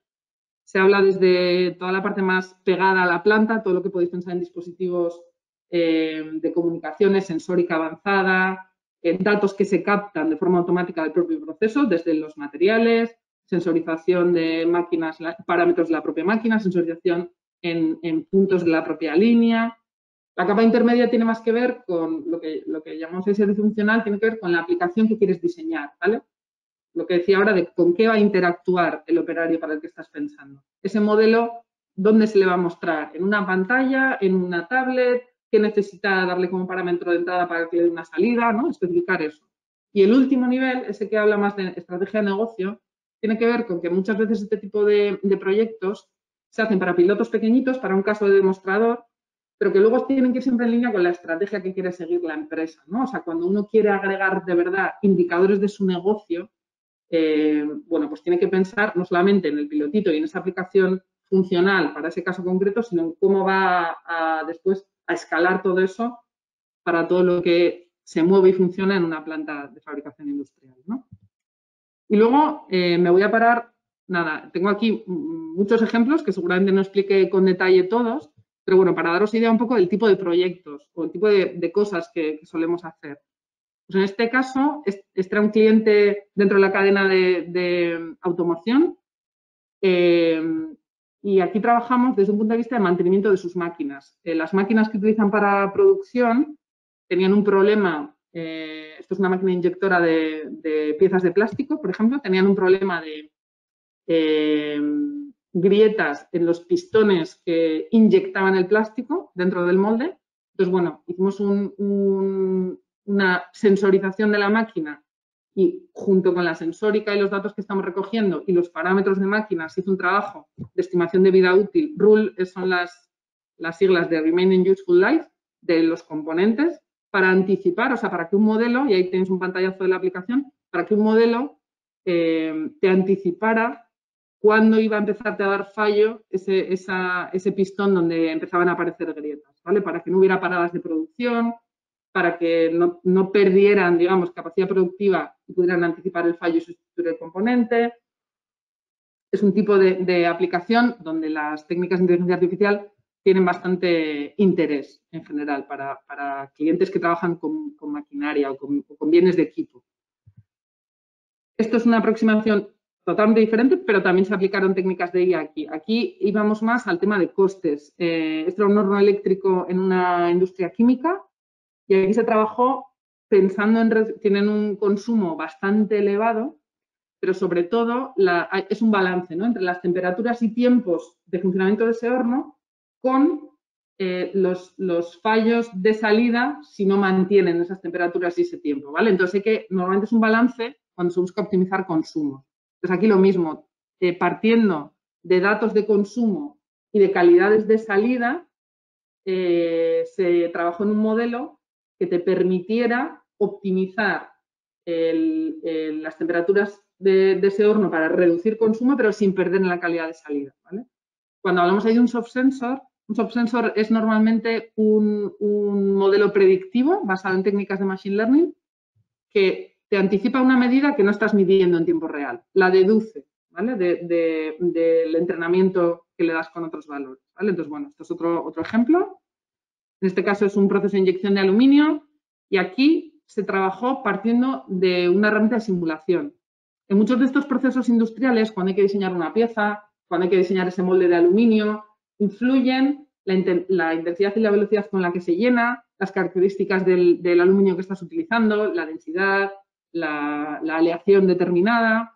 Entonces, normalmente hay una fase previa donde eh, eh, los expertos en eso lanzan un montón de escenarios de simulación para hacer el diseño de esa pieza con ese molde y parametrizar el proceso, ¿vale? Esas herramientas de simulación son costosas. En computación hay que saber manejarlas y hay que tener mucha experiencia. Entonces, ¿con qué trabajamos aquí? Con datos de esas herramientas de simulación para entrenar un modelo de IA que en tiempo real te diera esos resultados sin necesidad de lanzar esas, simulaciones, que normalmente tardan y no te dan una respuesta inmediata. Entonces, por ejemplo, aquí trabajamos de ese modo. No me voy a parar mucho más. Este es otro ejemplo de, industria alimentaria para, en este caso era calidad. Había que mantener una de las variables dentro de un umbral de calidad, entonces hicimos también un predictor. Voy a poner dos ejemplitos mm, también de mantenimiento. En este caso se trabajaba eh, para mantenimiento estructural y funcional de grúas portuarias. Entonces, cuando hablamos de mantenimiento, antes, por ejemplo, he hablado de una cosa muy concreta, de, de una aparición de grietas en los pistones de una máquina. En este caso es todo lo que tenga que ver con salud estructural. Aquí hablamos de grúas, pero hemos trabajado también, por ejemplo, para estructuras de construcción, edificios o, pabellones que están sujetos a esfuerzos o a cambios de configuración y entonces monitorizar el esfuerzo al que están sometidos y el, efecto que eso tiene en su salud estructural te puede anticipar ante fallos. Ese es un poco el enfoque que, se trabajó aquí. Y este es otro ejemplo eh, también en, en, mantenimiento, en este caso aplicado dentro del sector ferrocarril, si no recuerdo mal, y esto igual lo conocemos por Antonio, pero creo que aquí está aplicado a desgaste de, una de las partes o rodamientos de, funcionamiento. ¿vale? Entonces, lo mismo, se trata de eh, modelar los modos óptimos de, funcionamiento de ese componente para detectar anomalías o salidas dentro de ese régimen normal de operación y anticipar que eso eh, derive en un fallo no programado en este caso, o en un desgaste. Y por mi parte, eh, no quería extenderme mucho más. Eh, no sé si queréis eh, hacer ahora alguna pregunta o pasamos primero a la, intervención de Antonio con su experiencia de, doctorado. Dejamos, dejamos, que Antonio nos cuente un poquito su experiencia y luego tenemos 10 minutos previstos por si Antonio o a ti os quieren hacer alguna pregunta, ¿vale? Perfecto. Antonio Sugalve, que trabaja en el ámbito de transporte. Está aquí a mi lado que le oiréis por mi micro. Eh, si, le, escucháis, Tengo el micrófono roto de mi Y bueno, así, ¿me oís bien? Sí, sí, muy bien. Bueno, eh, bueno pues yo soy Antonio Jesús Galvez, como ya se ha dicho, estoy, soy doctorando a tiempo parcial en, en la industria, bueno, en la división de industria y transporte de Tecnalia. Y, y eso un poco antes de entrar a Tecnalia, mi perfil era, yo hice el grado en Ingeniería Mecánica en la Universidad de Málaga, después me vine aquí a Bilbao, hice el máster en Ingeniería Industrial, el máster habilitante y posteriormente el máster en Ingeniería en Organización Industrial, los dos en la misma universidad. Y actualmente desarrollo mi tesis doctoral, bueno, en Tecnalia, pues, específicamente en la plataforma de fiabilidad y mantenimiento, junto con la Universidad de Luleå, en Suecia, en la división de, operación y mantenimiento. Y bueno, yo Tecnalia lo conocí realmente cuando vine a Bilbao, porque en ambos másteres, como se ha comentado, eh, Tecnalia tiene muchísima presencia en casi todos los ámbitos de la industria y tiene muchos logros conseguidos, entonces era caso de, caso de ejemplo en muchas de las asignaturas que he cursado. Y este puesto, eh, realmente, bueno, este puesto, esta, oportunidad de formación la conocí porque hice el, bueno, el trabajo fin de máster en, en otro centro de investigación, Dostotec se llama, y bueno, aquí en el País Vasco en general hay muy buena comunicación entre los diferentes centros tecnológicos y de investigación, así como ellos con las universidades y con la, con la propia industria. Entonces, pues bueno, Tecnalia se puso en contacto tanto con Dostotec como con, la universidad donde hice esos másteres y ya contactaron conmigo porque mi perfil encajaba en uno de los topics que, ofertaban en, el programa que finalmente, después de varias entrevistas, eh, tuve la oportunidad de, acceder.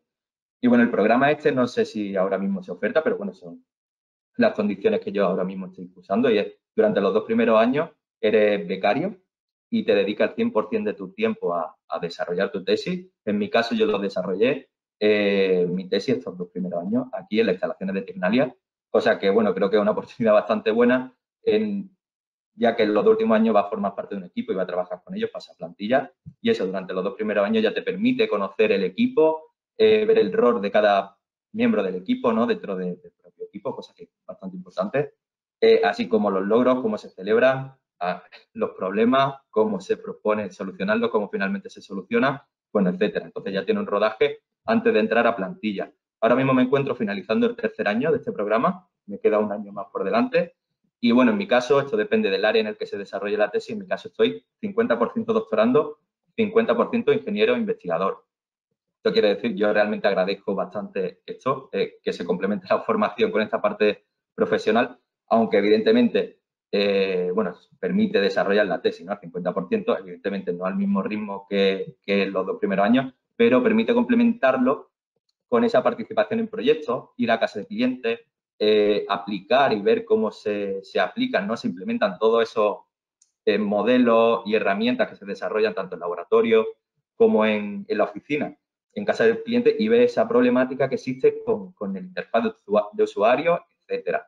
Bueno, esos problemas y otros, así como, bueno, hacer presentaciones tanto al cliente, ¿no? Tener ese, ese contacto, explicar qué ha salido bien, y por qué, ¿no? Y todo lo que se ha hecho que no se ha obtenido los resultados que se querían, ¿no? Primera hora, todo eso la verdad que lo veo que es bastante positivo para esta formación y para este programa. Y, y bueno, al final de todo esto, destacar, bueno, que tanto Tecnalia con este, estos programas, al menos el programa en el que yo entré, yo y otros compañeros que también estamos en la eh, plataforma y, área, eh, Tecnalia necesita doctores, eh, se fomenta el hecho de que se haga la tesis doctoral, por eso esta inversión en, nosotros, ¿no? en formarnos, en que tomemos ese perfil tanto académico, de investigación como de profesional, ¿no? con el cliente, contacto con el cliente, pero también se, premia o, tiene ese contacto directo a transferir ese, quiero decir, en el caso en el que en el momento de tomar la decisión de que pase a formar plantilla, ¿no? O formar parte del equipo con un contrato indefinido, quiero decir, eh, también permite y, y, tenerle no tenga esa, esa necesidad, por así decirlo, transferir ese conocimiento, esa formación al aula, ¿no? a una universidad y seguir desde ahí investigando, impartiendo clase con ese perfil, ¿no? esa experiencia al futuro ingeniero, etcétera, y también tiene muy buena conexión con la industria, como ya he dicho. Es decir, te permite irte a la industria y trabajar ahí en un proyecto, bueno, en un departamento de I+.D. o cualquier otro que se elija a solucionar los problemas que tenga del día a día de esa empresa o de futuro y al final, pues, como ha dicho Susana, a mejorar su beneficio. Y, bueno, esto sería todo. No sé si tenía alguna pregunta, he hablado muy rápido, y, pero tenía poco tiempo. Y bueno, esto sería todo y, muchísimas gracias por la oportunidad. Y eso es lo que necesitáis. Muchas gracias, Antonio. Les recuerdo a todos los asistentes que o bien en el chat o bien en la pestaña de preguntas, si nos quieren hacer alguna pregunta en este ámbito temático, teníamos previsto unos minutos de debate. Yo tengo por aquí alguna en el chat que me preguntan eh, la dualidad entre empleo y robótica y automática, como Susana nos pregunta si en un país con mucho paro, la, robótica, ¿cómo, cómo, ¿qué decirle a los que piensan que la robótica va en contra del empleo?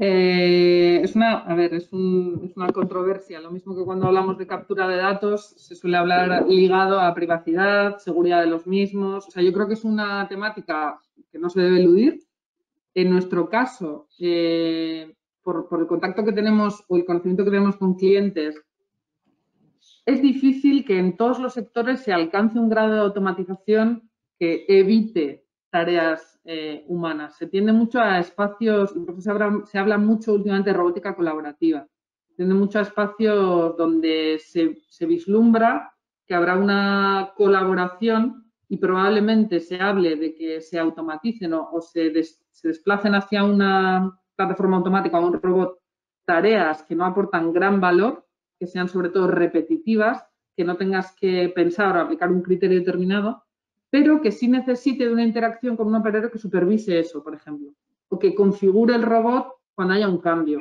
o que interactúe de alguna manera, o sea, pero es verdad que estas fábricas que solemos ver o que vienen más del mundo asiático, donde no hay ni siquiera una persona en planta, es más difícil, está muy ligado también al, sector automoción.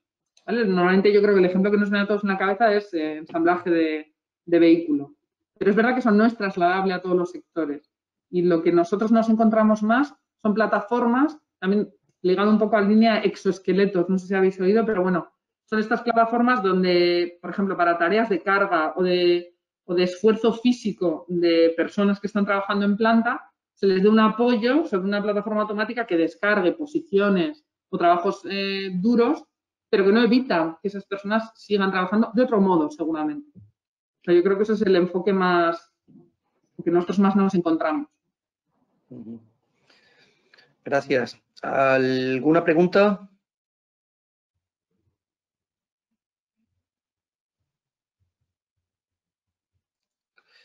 Me preguntan cómo es la cooperación entre doctores en aspectos netamente transdisciplinares. Antonio.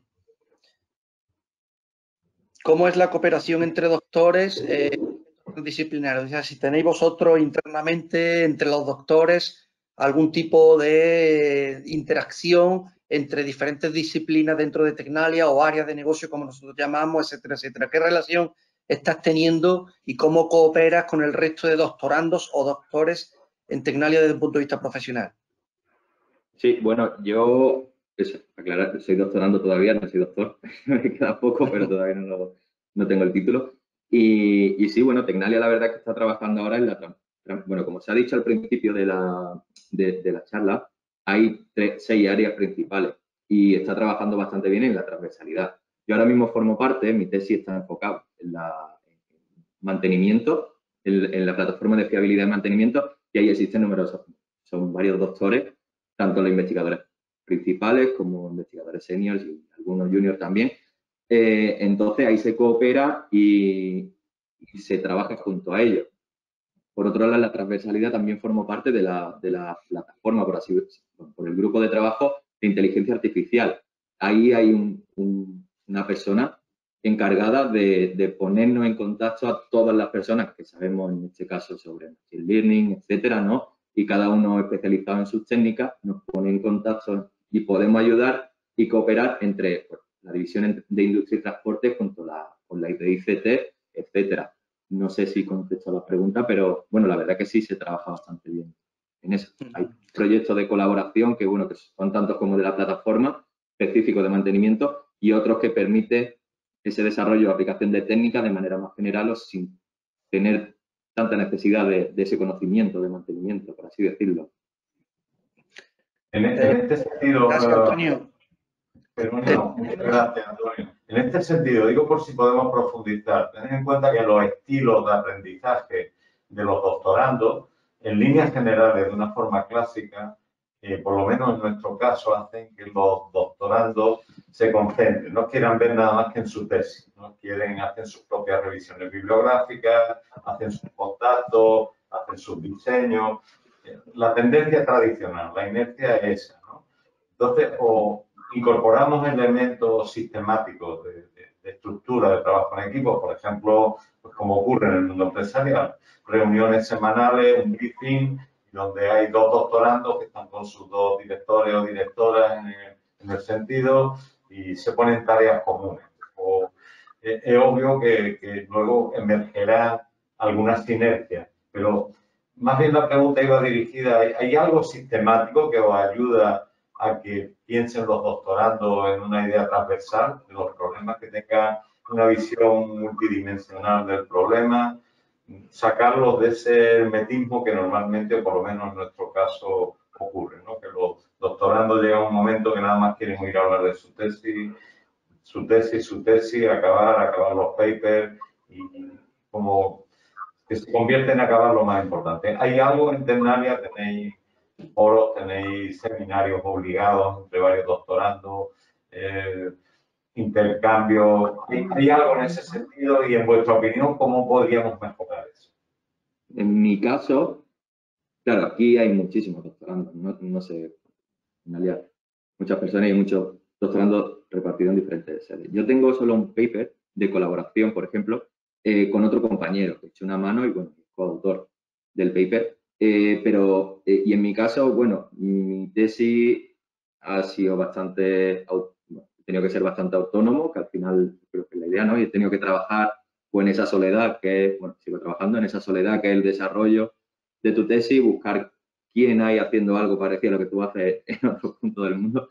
Y eso, y, pero sin embargo, sé que hay otras divisiones o, áreas de negocio en las que sí hay más doctorandos y sé que entre ellos sí han colaborado más, porque su topic o, su tema de tesis quizás sí, sí es más compatible. Por ejemplo, mi compañero, el que está en la misma plataforma que yo, eh, en la que yo desarrollo la tesis, él intentamos eh, solucionar el mismo problema, pero usando técnicas muy diferentes. entonces, en nuestro caso, la colaboración hasta el día de hoy no ha sido posible. Los dos trabajamos juntos en proyectos, en la parte de ingeniero investigador sí, sí hemos trabajado juntos en proyectos, pero en el hecho de colaborar para desarrollar un paper juntos o avanzar en ese aspecto, no hemos tenido la, oportunidad, pero por eso, porque son técnicas muy diferentes y aparte de darnos algunas citas, poco más hemos podido hacer. No sé, Susana. Iba a hacer dos comentarios. Eh, una, en cuanto a la pregunta concreta, si tenemos estructuras que les fuercen a ideación a conceptualización, directamente no, o no de una forma común o un programa por el que se rijan todos. Pero sí hay un par de cosas que no sé si te ayudarán. Eh, una la ha comentado ya Antonio, o sea, el, programa de 2 más 2, que solemos llamar, esos dos primeros años es verdad que la persona está muy centrada en avanzar en su tesis, pero en el más 2, es lo que decía Antonio, ¿no? Ahí intentamos que al menos el 50% del tiempo empiecen a tener contacto en proyectos en los que realmente estamos trabajando.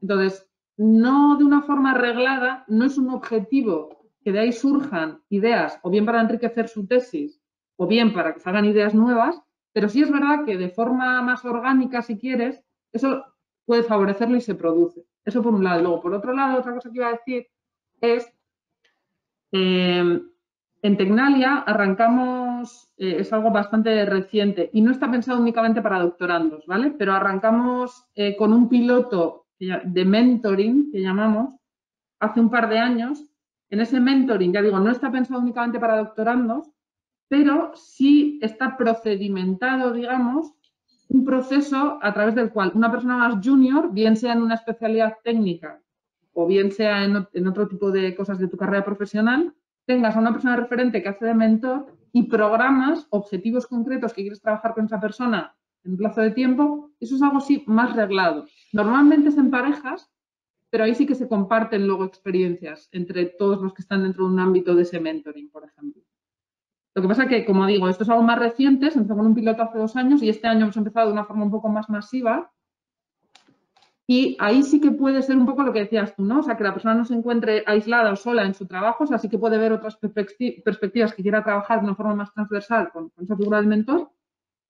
Y luego que es verdad que nosotros como centro de investigación eh, tenemos ejercicios, pero no específicamente con los doctorandos, repito, en cuanto a ideación, o sea, claro, tenemos una parte que está muy pegada a la demanda de clientes que tenemos y otra parte que está más ligada a que el empuje científico-técnico te lleve a estar un pasito por delante de lo que, de lo que te están demandando, ¿no? Entonces ahí sí que tenemos ejercicios, pero casi más dependiendo de los grupos, no específicamente con los doctorandos, pero los, los grupos de investigadores sí que fomentamos un poco que surja ese tipo de, de sesión.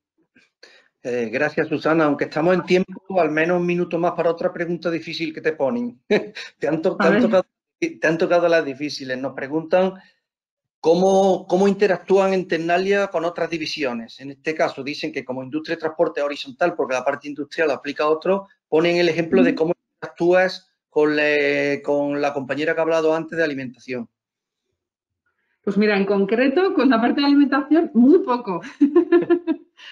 Eh, es verdad que, he comentado, ¿no? Que en industria, claro, industria al final es todo y son, eh, son sectores, o sea, es un sector tan amplio que eh, seguramente no hemos tenido contacto con todos los sectores industriales, ni mucho menos.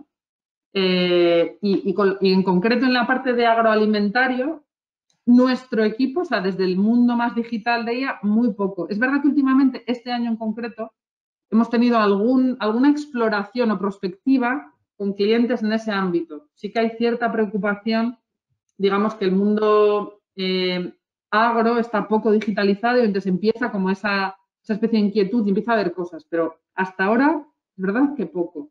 Sin embargo, por ejemplo, lo que comentaba antes Antonio, ¿no? Hay, hay, algunas estructuras transversales en Tecnalia, aunque estamos organizados por negocios verticales, ¿no? Las divisiones, hay algunas estructuras transversales que intentan agrupar eh, desde un punto de vista de quién sabe de qué, esas tecnologías más transversales habilitadoras, voy a poner un ejemplo, pero la IA es uno muy clara, ¿no? que tiene aplicación en casi cualquier ámbito. Pues la gente que sabe de programación de algoritmos basados en Machine Learning, independientemente de que pertenezcan a la industria de transporte o, al, o a ICT o a energía, sí que se intenta agrupar esa especie de conocimiento y tratar de hacer actividades en común en ese sentido, sin pensar en una aplicación determinada a un sector. Pues sí que trabajamos un poco eh, la parte de capacitación, si queréis, o la parte más de tecnología per se, hay algún grupo de trabajo transversal que intenta aunar esfuerzos sin pensar en una aplicación. Aunque es verdad que luego cada uno trabaja más en su aplicación, en su ámbito de aplicación. Eso, eso sigue siendo un poco así. Pero bueno, intentamos hacer ese esfuerzo. Pues gracias Susana y Antonio. Si os parece, eh, llevamos cinco minutos de retraso, estamos todavía dentro del margen razonable de retraso y cambiamos un poquito el chip. La verdad que cuando, cuando hicimos el programa, recuerdo hace ya algunas semanas o meses casi con José Emilio, Leo y, y los compañeros de la Universidad de Córdoba, no sabíamos que la energía, el kilovatio hora iba a estar a 180 o 200 euros. En su día pensamos que la energía es un elemento absolutamente clave en el futuro de cualquier negocio tecnológico hoy y, y en el agroalimentario no es menos. Para ello contamos con el director de tecnología de la División de Energía y Medio Ambiente de Tecnalia, Javier García Tejedor, que junto con Irati Ibáñez, que es un doctorando de su, de su área de negocio, nos va a comentar algunos de los retos en el ámbito energético y al igual que en las dos sesiones anteriores, al final tendremos un pequeño chat de preguntas, unos minutos para que podáis preguntarle lo que queráis. Javier, te dejo, te doy el mando y muchas gracias por, por atendernos. Hola Gerardo, hola a todo el mundo, buenas tardes, ¿qué tal? Bueno, mi si, te pone el, si, te, pone el vídeo, te ven. venga, venga, vamos a poner el vídeo, vamos a ver. ¿Vale? Oh. ¿Me veis? Muy bien, perfecto. Bueno, pues hola, hola, hola a todos otra vez. Vale, voy a intentar compartir, compartir, compartir. A ver. Vale, eh, estáis viendo un, una pantalla que pone Energy and Environment. Perfecto, sí, sí. Vale, momentito, tengo que verla yo también, que es importante. Vale, eh, bueno, lo dicho, cambiamos de música, vamos a, cambiamos de tercio, vamos a ver la parte de energía. Bueno, yo como me imagino que estaréis cansados y tenemos muy poquito tiempo, al final yo tenía una presentación que la he resumido prácticamente en una transparencia. Y luego os voy a poner un vídeo que dura literalmente dos minutos, donde se explica un poquito las cosas que hacemos en este campo. ¿no? Entonces, eh, así dejamos tiempo pues, para que nuestra compañera Irati pues, también nos cuente, os cuente su experiencia. A ver, transición energética. A ver, este es un asunto que está ahora muy de moda y precisamente como decía Gerardo ahora, pues bueno, con, la subida del precio de la electricidad, pues todavía eh, está más en boca de todos el, problema energético. ¿no? ¿Qué es esto de la transición energética? Bueno, básicamente eh, hay una, vamos a decir, voluntad y decisión política pues de llegar a un sistema energético neutro en carbono pues para el año 2050. ¿no? es un reto eh, técnico y social muy importante, pero lo que se busca es que el sistema energético pues no contribuya aún más pues, al cambio climático, al efecto invernadero, etc. ¿no? Pues bueno, Como os decía, este es un reto muy importante, afecta a todos y afecta a todos los sectores, por supuesto también al sector agroalimentario. Y básicamente el reto que hay detrás se puede resumir en estos tres que veis ahí, ¿no? que es lo que he tratado de resumir en esta, en esta presentación y que voy a intentar explicar brevemente. Todo esto son actividades que desarrollamos en Tecnalia, que luego lo veréis en ese vídeo que os resumo. Entonces, el primer eje para conseguir esa transición energética es el despliegue masivo de la generación renovable. Es decir, hay que sustituir las fuentes de generación que se basan en combustibles fósiles por eh, generación renovable, energías renovables. Entonces, bueno, dentro de energías renovables hay varias, pero en este momento eh, yo os diría que, lo más relevante está alrededor de la energía solar fotovoltaica, luego os pondré algún ejemplo relacionado con el sector agroalimentario, y la energía eólica, tanto onshore como offshore. La energía solar fotovoltaica al final es eh, la energía prácticamente más, vamos a decir, es perfecta, ¿no? Al final una placa fotovoltaica la expones al sol y directamente genera electricidad, ¿no? Dicho de forma muy, muy sintética. Entonces, bueno, pues hasta ahora lo que ha ocurrido, hasta hace unos años, pues que la energía solar fotovoltaica tenía un coste elevado, no era rentable y al final cualquier fuente de energía para que tenga éxito tiene que llegar a lo que se llama el grid parity, es decir, un precio por kilovatio que sea equivalente a lo que se negocia en el sistema eléctrico. La solar fotovoltaica ha reducido muchísimo, muchísimo el coste en los últimos años y en este momento es una energía rentable a todos los niveles. Es decir, es rentable tanto para una compañía eléctrica que decide poner una gran planta fotovoltaica para generar a gran escala, como el poner sistemas fotovoltaicos en instalaciones particulares, en viviendas, en una instalación agrícola, porque ya es rentable hacer eso y sobre todo, bueno, con, la subida del precio del kilovatio hora, pues todavía entonces, bueno, este es el primer mensaje, es decir, la energía fotovoltaica va a ser la campeona probablemente de las energías renovables en los próximos años. Y de hecho ya lo está siendo. Y luego otra, otra fuente de energía es la eólica, que también ya está en, rentabilidad. Hasta ahora lo que estamos acostumbrados a ver son los parques onshore, los que vemos cuando vamos con el coche por la autopista y vemos ahí los parques eólicos, pero eh, ahora cada vez más los aerogeneradores se van al mar buscando otras emplazamientos, ya que muchos emplazamientos de tierra están ya saturados. Encima, pues el consumo eléctrico, sobre todo, es en las zonas costeras. Entonces, bueno, la energía eólica offshore tiene mucho sentido y ya se está desarrollando mucho en aguas poco profundas, como es el Mar del Norte, y también poco a poco en aguas profundas. Y para eso hay que ir a soluciones tecnológicas como el desarrollo de plataformas flotantes y soluciones de ese estilo en las que estamos trabajando en Tecnalia. Bien, esta es, esta es la primera, vamos a decir. La segunda clave que va a ocurrir y que está ocurriendo es la electrificación del sistema energético. ¿Qué quiere decir esto? Pues sencillamente que en el mix energético cada vez va a tener más peso la electricidad frente a otras fuentes, frente a otros combustibles. Esto se entiende muy bien, por ejemplo, con la movilidad eléctrica. La movilidad eléctrica hace que los vehículos, a medida que vayamos adoptando vehículos eléctricos, no usen menos petróleo y usen más electricidad. Ese es un ejemplo de electrificación del sistema energético. Y esto lo vamos a ir viendo en muchos campos. ¿no? Por ejemplo, en el segundo que veis allí debajo, que es la electrificación de la demanda y descarbonización del calor y frío. ¿no? Bueno, electrificación de la demanda es lo que hemos dicho, del, por ejemplo, el vehículo eléctrico y la descarbonización del calor y frío, es decir, la generación de calor mediante bombas de calor. En lugar de quemar gas en una caldera, podemos utilizar una bomba de calor que lo que hace es eh, utilizar electricidad con un nivel de lo que se llama el COP, que es una especie de medida de la eficiencia, pues que puede ser del 300, del 400% en generación de calor y frío. ¿no? Entonces, estas son megatendencias que vamos a ir viviendo y que también está dando lugar pues, a un desarrollo tecnológico. ¿no? Eh, me he saltado al punto 2, pero el primero de, de, los que veis ahí es las redes inteligentes y la digitalización. Es decir, hay una transformación también en el sistema eléctrico. Lo que hemos mm, tenido hasta hace poco son las redes unidireccionales, grandes plantas de generación, generación nuclear, hidráulica, biomasa, eh, ciclos combinados, eh, vertiendo la electricidad en una red de transporte y luego de ahí a una red de distribución hasta, hasta el consumo. En este momento ya ha cambiado el paradigma. Resulta que ahora en nuestra casa podemos tener en el tejado unas placas solares que nos están dando energía, pero que además vierten su excedente a la red. Por lo tanto, la red tiene que tener un flujo bidireccional. Ya no, la electricidad ya no va en un sentido solo, sino que va en doble sentido. ¿no? Eso es un cambio que implica muchos cambios a nivel técnico. Las redes tienen que ser inteligentes porque tienen que adaptarse precisamente a, esto, ¿no? a este flujo bidireccional. Es muy importante la digitalización. en paralelo con la red eléctrica, que es una red pensada para transmitir electrones, tiene que haber una red que, eh, transporta bits, porque es toda la necesidad de control que tenemos sobre esas redes inteligentes que además son bidireccionales.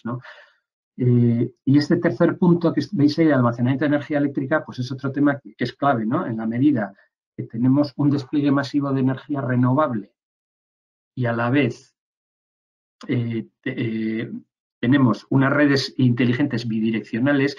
¿qué, ocurre con la generación renovable? Que la generación renovable no se puede regular, se puede prever, pero no se puede gestionar en el sentido de que cuando hay viento hay viento y cuando hay sol hay sol. Entonces, claro, eso produce un desacople entre la necesidad de energía que tenemos los consumidores y la generación. Entonces, una manera de acoplar eso es mediante el almacenamiento de energía, que nos sirve de buffer intermedio para acoplar esa, esa eh, generación y esa demanda. Entonces, claro, en la medida que tengamos cada vez más renovables, este problema se hace mayor y por lo tanto la red eléctrica necesita de sistemas de almacenamiento. Bueno, y el tercer punto, que es clave ahora en la transición energética, es algo que, acaba de, eclosionar, yo diría por segunda vez, ¿vale? Es un segundo brote del hidrógeno. El hidrógeno, eh, ya hace unos 10 años, 12 años, hubo un primer boom del hidrógeno donde, bueno, se veía que podía ser un nuevo vector energético. Quizás en aquella época, pues el sistema no estaba preparado o la problemática no era tan grande y quizás se hizo un enfoque incorrecto en pensar que el hidrógeno pues era básicamente un sistema de almacenamiento de energía para la red eléctrica, ¿no? Para solucionar el problema que acabo de explicar. Eh, ¿Qué pasa? Que el hidrógeno tiene muy mal rendimiento, es decir, coger electricidad, convertirla en hidrógeno, almacenar ese hidrógeno y luego volver a convertir ese hidrógeno en electricidad es muy poco rentable. Se pierde mucha energía por el camino, es muy poco eficiente, mejor dicho.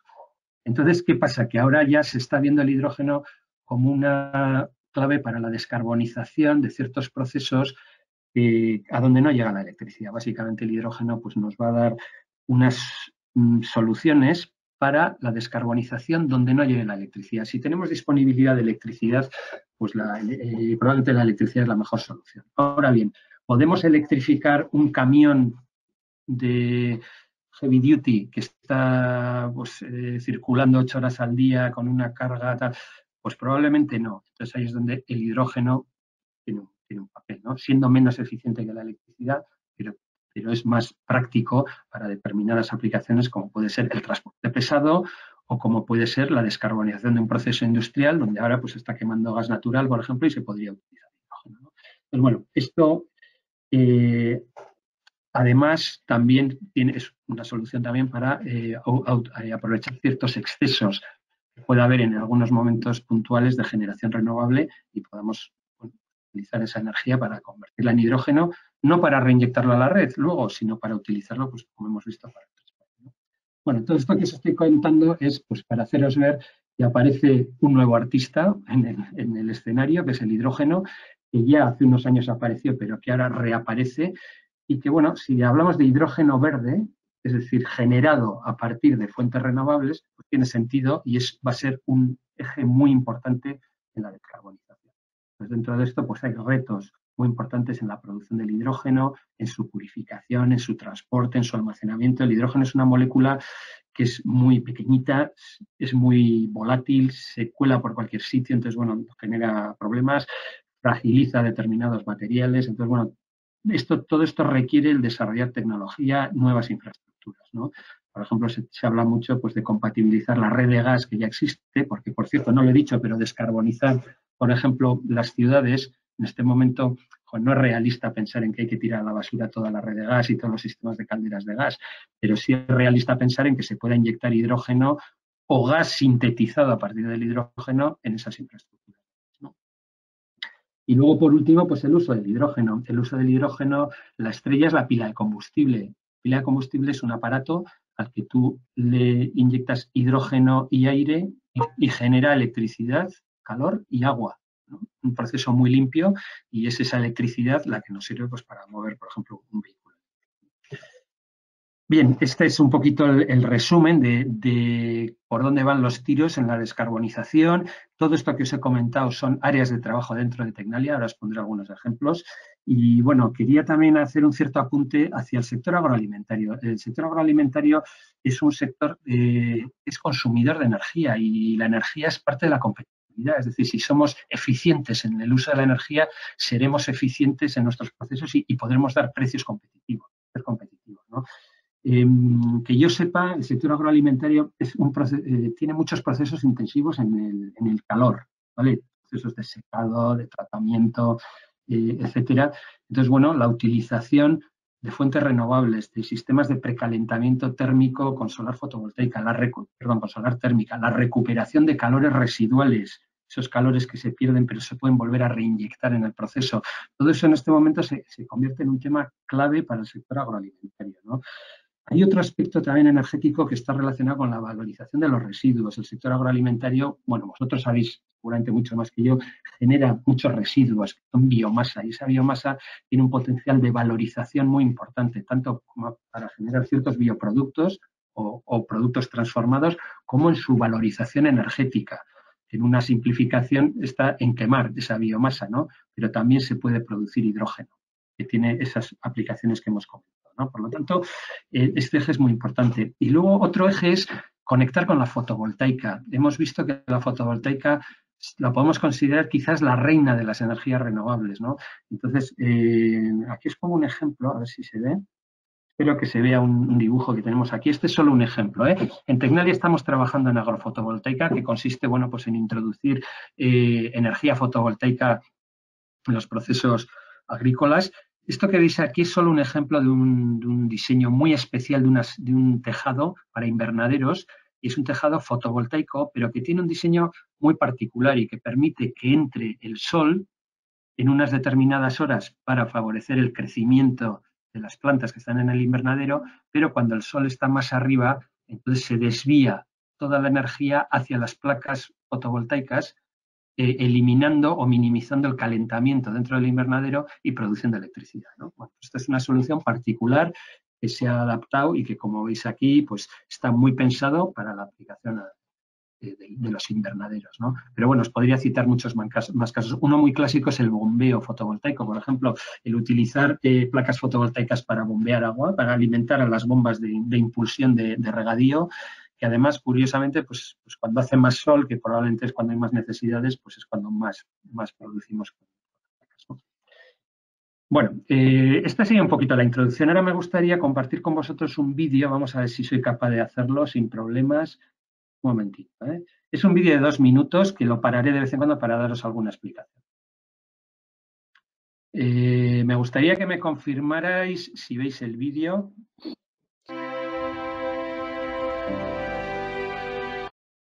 Perdonad, ¿se ve el vídeo? ¿Alguien puede...? Sí, se ve, se ve, se ve. Vale, muchas gracias.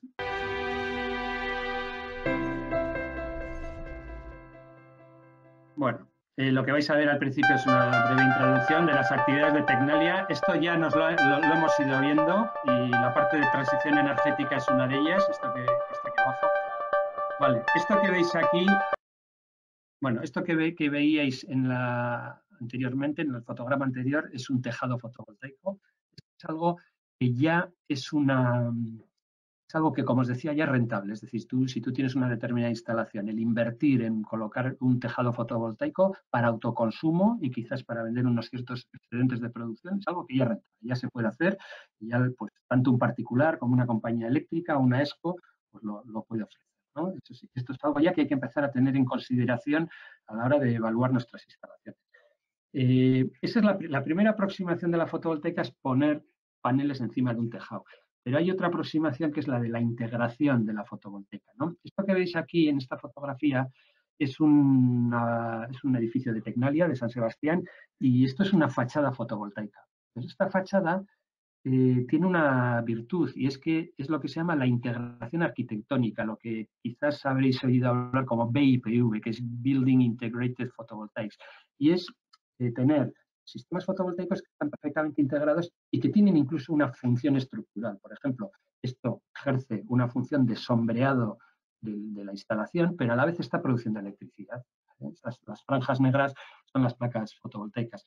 Además, nosotros aquí en Tecnalia trabajamos, o estamos implantando una tecnología que llamamos Solar Phase, que es eh, un sándwich de, de, composites y en ese sándwich de composite tenemos embebidas las, las, células fotovoltaicas. Entonces, eso genera unos módulos muy ligeros, muy fáciles de instalar y nos permite crear este tipo de fachadas.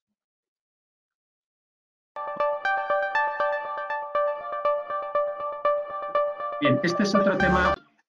Bueno, esto que veis aquí es un tema relacionado con la energía offshore eh, eh, y es un tema más de largo plazo. Esto es un prototipo de sistema de captación de energía de las olas. ¿eh? Este, este aparato que veis ahí, lo que veis es la punta del iceberg porque el resto está sumergido y es un sistema que se llama columna de agua oscilante. Entonces, a medida que la ola se eh, avanza a través del dispositivo, la columna de agua sube y baja y eso provoca una compresión del aire en la cámara que se ve aquí y hay una turbina pues, que lo que hace es turbinar ese aire y generar electricidad. Esto, en este momento, eh, es una tecnología todavía demasiado cara para ser utilizada masivamente, pero forma parte de ese panel de tecnologías que están en desarrollo para el futuro. Y luego veis ahí el logotipo de IDOM. ¿Y esto por qué es? Porque Tecnalia, el objetivo nuestro cuando desarrollamos una tecnología es transferirlo a la industria. Pues en este caso, la tecnología, una vez desarrollada, se ha transferido a IDOM, que es una gran ingeniería del País Vasco.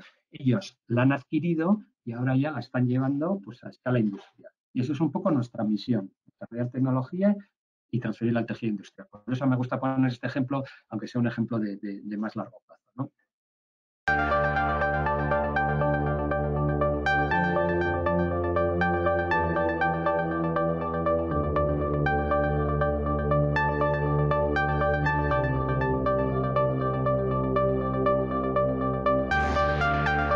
Un poco imágenes de lo que os he contando. Esta es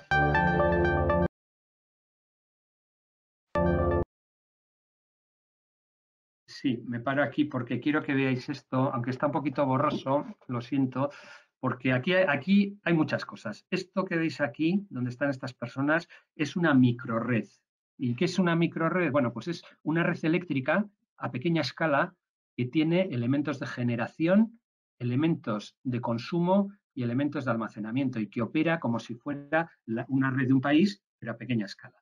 Esto es algo que poco a poco se está implantando. Es decir, a medida que estamos yendo a un sistema energético descentralizado, en muchos sitios se plantea la instalación de microredes autónomas con fuentes de generación propias que pueden estar conectadas a la red eléctrica general eh, del país, pues para momentos donde pueda hacer falta verter energía o comprar energía, pero que tienen un diseño para ser razonablemente autónomas. ¿no? Entonces, lo que veis aquí es un laboratorio de Tecnalia eh, ubicado en Bilbao y aquí, bueno, aunque no se puede distinguir porque se ve todo pequeñito, pues aquí hay distintos los sistemas de generación están fuera del edificio, pero bueno, aquí están los distintos equipos técnicos, sistemas de almacenamiento, etc.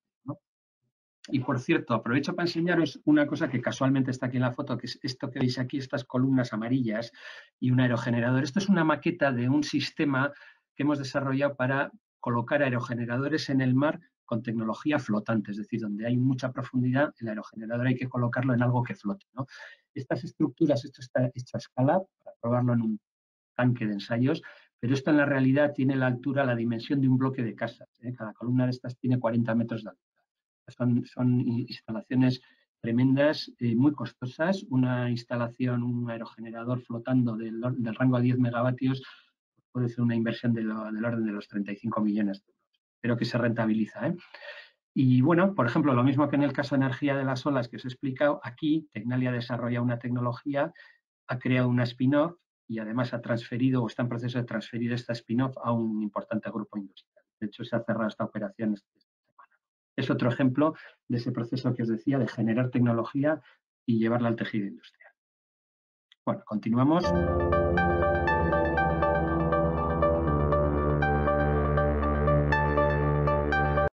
Vale, esto me vuelvo a parar aquí. Esto que veis aquí, veíais a, a una persona con las gafas de realidad virtual y ahora veis aquí una cosa que es un gemelo digital. Esto también es, eh, forma parte de lo que hemos hablado de la digitalización del sistema eléctrico ¿no? y de las operaciones y de también las operaciones de mantenimiento de, las redes eléctricas. Eh, aquí trabajamos pues, aplicando la realidad virtual, y, por ejemplo, esto que veis, os decía que es un gemelo digital. Un gemelo digital es una representación funcional de, un elemento. Esto, por ejemplo, es la parte del, powertrain de un aerogenerador. Y aquí tenemos desarrollado no, no solo el modelo 3D, el modelo 3D que veis es el dibujo, eso, es lo que menos importa. ¿no? Lo importante son los modelos que definen las ecuaciones y modelos que definen el funcionamiento de todo esto. Pero vamos un paso más allá.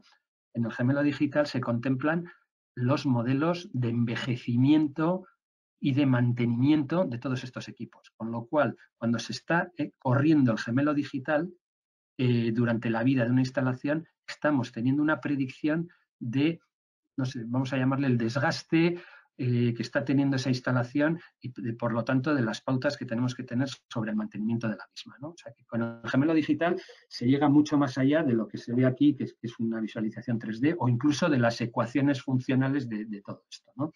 Y esto es algo que también eh, está muy de moda ahora, lo del gemelo digital. En realidad, también lo podéis considerar como si fuera una simulación extrema, o sea, una simulación ya donde se llega pues, a niveles de muy, ya muy detallados. Vamos a continuar. Vale, esto que veis aquí es eh, una red térmica y es está tomada este, este vídeo en nuestro laboratorio de energía térmica. Un laboratorio de energía térmica es como un laboratorio eléctrico, pero en lugar de cables tenemos tubos. Estos tubos que veis aquí arriba llevan fluidos eh, caloportadores con calor, frío, etcétera. Y estos fluidos los utilizamos para inyectarlos en las distintas máquinas, en los desarrollos que estamos haciendo, eh, para validarlos. ¿no? Entonces, bueno, pues aquí lo que estáis viendo es una bomba de calor. Una bomba de calor, ya os explica un poquito antes lo que era, ¿no? Es una máquina muy eficiente para, mover calor de un sitio a otro y por lo tanto, climatización, secado, etcétera.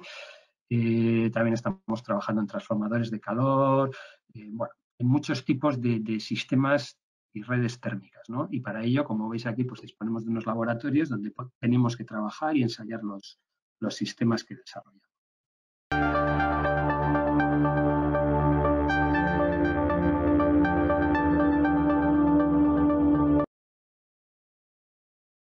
Vale, me vuelvo a parar, ya veis, me está dando mucho de sí un vídeo de dos minutos. ¿eh?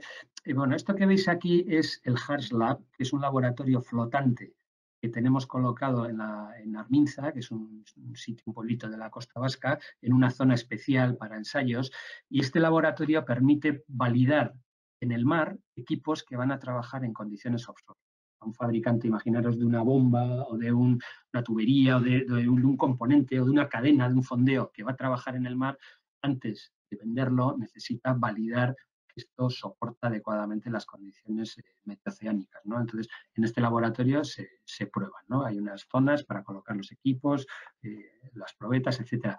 Por cierto, esta es la versión 1 y ayer tuvimos la inauguración de la versión 2, que es muchísimo más grande, ya es un laboratorio em, que de tamaño pues es varias veces este y que pues en poquitas semanas sustituirá a este que tenemos aquí por este más grande, os digo, porque bueno, pues ha tenido muchísima demanda industrial y por lo tanto pues nos ha obligado, nos ha dado la oportunidad pues de, hacer una versión 2.0.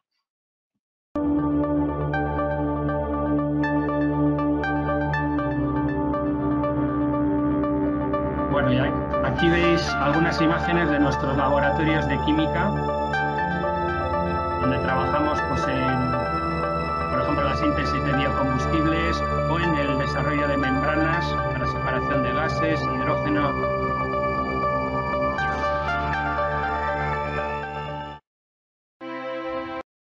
Bueno, yo creo que, con esto ya es suficiente. No sé, me, he querido pues daros una idea. Evidentemente es imposible que, os cuente todo lo que estamos haciendo en 10 minutos.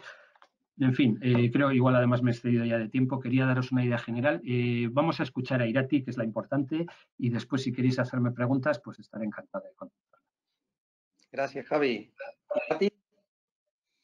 Eh, hola, eh, ¿me escucháis? Sí, perfecto. Vale, Eh, bueno, yo soy Irati y bueno, eh, yo estudié un grado de Ingeniería Industrial aquí en la Universidad de, de Bilbao, en la UPV, en la Pública del País Vasco, y luego hice también el máster de Ingeniería Industrial en la misma universidad. entonces, bueno, ahora estoy haciendo un doctorado en Tecnalia en, en, el Departamento de Energía y Medio Ambiente y más específicamente en el área de redes inteligentes. Y mi doctorado también está ligado a la empresa Ingeteam, o sea, es un acuerdo entre, entre Tecnalia y Ingeteam. Eh, y bueno, yo Tecnalia lo conocí porque en la universidad en la que estudié hay un aula que es el aula Tecnalia y durante el máster, pues de máster y grado, pero yo hice en el máster, ofrecen proyectos para hacer en el aula mientras que estás estudiando y tal. Y el segundo año, pues hice unas prácticas eh, durante cuatro meses en Tecnalia. Entonces, eh, durante estas prácticas, pues em, uno de, mis eh, compañeros eh, me propuso que tenían una tesis en mente que estaría ligada un poco a las redes, a la electrónica, al control de, estas y tal. Y, era con Ingeteam y tal, y bueno, y le dije que a mí me interesaba y luego me hicieron una entrevista con Ingeteam y pues al final eh, comencé a hacer la tesis eh, hace un año, un poco más de un año, pero bueno, más un año que un año y medio. Eh, y nada, y ahora mismo yo estoy en Tecnalia haciendo la tesis. en mi tesis sí que es verdad que está ligada también a un proyecto que, que existe entre estas dos compañías, entonces no estoy trabajando muy sola, o sea, estoy muy, muy en, por mi parte, pero sí que es verdad que tengo muchos apoyos, pues porque al final al estar ligada a un proyecto hay mucha gente que, está también en el proyecto y a la que puedo acudir eh, cuando tengo dudas y todas estas cosas. Y a mí, por ejemplo, pues me parece que esta experiencia de estar en Tecnalia, que es eh, muy buena, pues eh, al final yo también quise hacer la, tesis también en un centro tecnológico, más que en una universidad, por el hecho de conocer un poco también lo que es eh, el ámbito de trabajo. Eh, al final, si tienes alguna duda, sabes que vas a encontrar mucha más gente que te pueda ayudar. Es, otra, es otro ámbito, digamos. Y, nada, yo ahora mismo estoy muy contenta y ya os digo que tampoco llevo mucho tiempo, pero bueno, el primer año creo que ha sido bastante productivo. Y a futuro, pues creo que te abre bastantes puertas que al final, eh, si eres una persona que te gusta el tema de investigar eh, y todo eso, pues hacer un doctorado también te, te ayuda un poco a, a, saber un poco en lo que vas a trabajar o en lo que, lo que es la investigación, digamos, porque al final lleva mucho tiempo, eh, te frustras muchas veces, pero bueno, luego cuando hay muchos logros sí que es verdad que se celebran y, y que es todo muy buenas noticias, pero bueno, hay de todo. Y nada, eso es un poco mi historia y, eso es lo que os puedo contar de momento. Muchas gracias, Irati, por acompañarnos. Bueno, estamos en tiempo, pero no quería dejar la oportunidad de algunos minutos. Por nuestra parte no hay problema, pero nos habíamos comprometido a ser puntuales, que es la mejor forma de que en futuros eventos nos sigan acompañando. Pero nos van a disculpar unos minutitos. Hay una pregunta, Javier, eh, que es doble, lo han preguntado por dos foros diferentes. Primero, eh, si ves el uso del hidrógeno en la parte agrícola, en la agricultura, no en la parte industrial, sino en la parte agrícola, que cómo y cuándo ves el hidrógeno como fuente de energía agrícola. ¿vale? Y en paralelo aprovecho para la otra pregunta, eh, que parece que el hidrógeno está en manos de las grandes multinacionales y que hay poca formación específica. si conoces qué se está haciendo, al menos en España, en formación cualificada en el ámbito del hidrógeno. Vale, bueno, pues voy a intentar responder. A ver, en el sector agrícola el hidrógeno. yo la verdad que lo veo eh, en dos líneas, ¿no? Uno puede ser la, como combustible para maquinaria pesada, maquinaria agrícola, que la metería dentro del capítulo del heavy duty que os decía antes, ¿no? Es eh, maquinaria que trabaja muchas horas, que tiene un gran consumo y que quizás eh, alimentarlos a base de baterías, pues igual no tiene demasiado sentido. Entonces, eh, quizás para ese tipo de maquinaria el hidrógeno pueda ser un combustible adecuado, hidrógeno más pila de combustible. Y luego también en la generación de calor en determinados procesos agroalimentarios, la combustión del hidrógeno. Pero bueno, para esto habría que hacer numeritos, habría que compararlo con el gas y tal, pero bueno, eh, os puedo decir que en la industria se está considerando seriamente la utilización de hidrógeno en determinados procesos siderúrgicos como alternativa al gas. Entonces, donde estemos viendo procesos que utilizan gas, gas natural, podemos estar pensando en una sustitución por hidrógeno o por, eh, por gases sintéticos producidos a partir de hidrógeno. Y por último, yo veo también al sector agroalimentario no, como un, no solo como un consumidor potencial de hidrógeno, sino como un generador de hidrógeno. Es decir, los residuos agroalimentarios, bueno, aquí esto seguro que hay otras personas que nos están escuchando que tienen más criterio que yo, pero de los eh, residuos agroalimentarios es una fuente para la generación de, hidrógeno. A partir de unos determinados procesos se puede generar hidrógeno. Entonces, esta también es una salida, digamos, para determinados residuos. Eso es como lo veo. Y luego la segunda pregunta era respecto a la formación. Bueno, pues el que ha hecho la pregunta tiene toda la razón, porque ¿qué ha ocurrido? Que esto, eh, el hidrógeno, esta moda del hidrógeno ha llegado no como una ola, sino como un tsunami, ¿no? Y ese tsunami ha desbordado a muchos.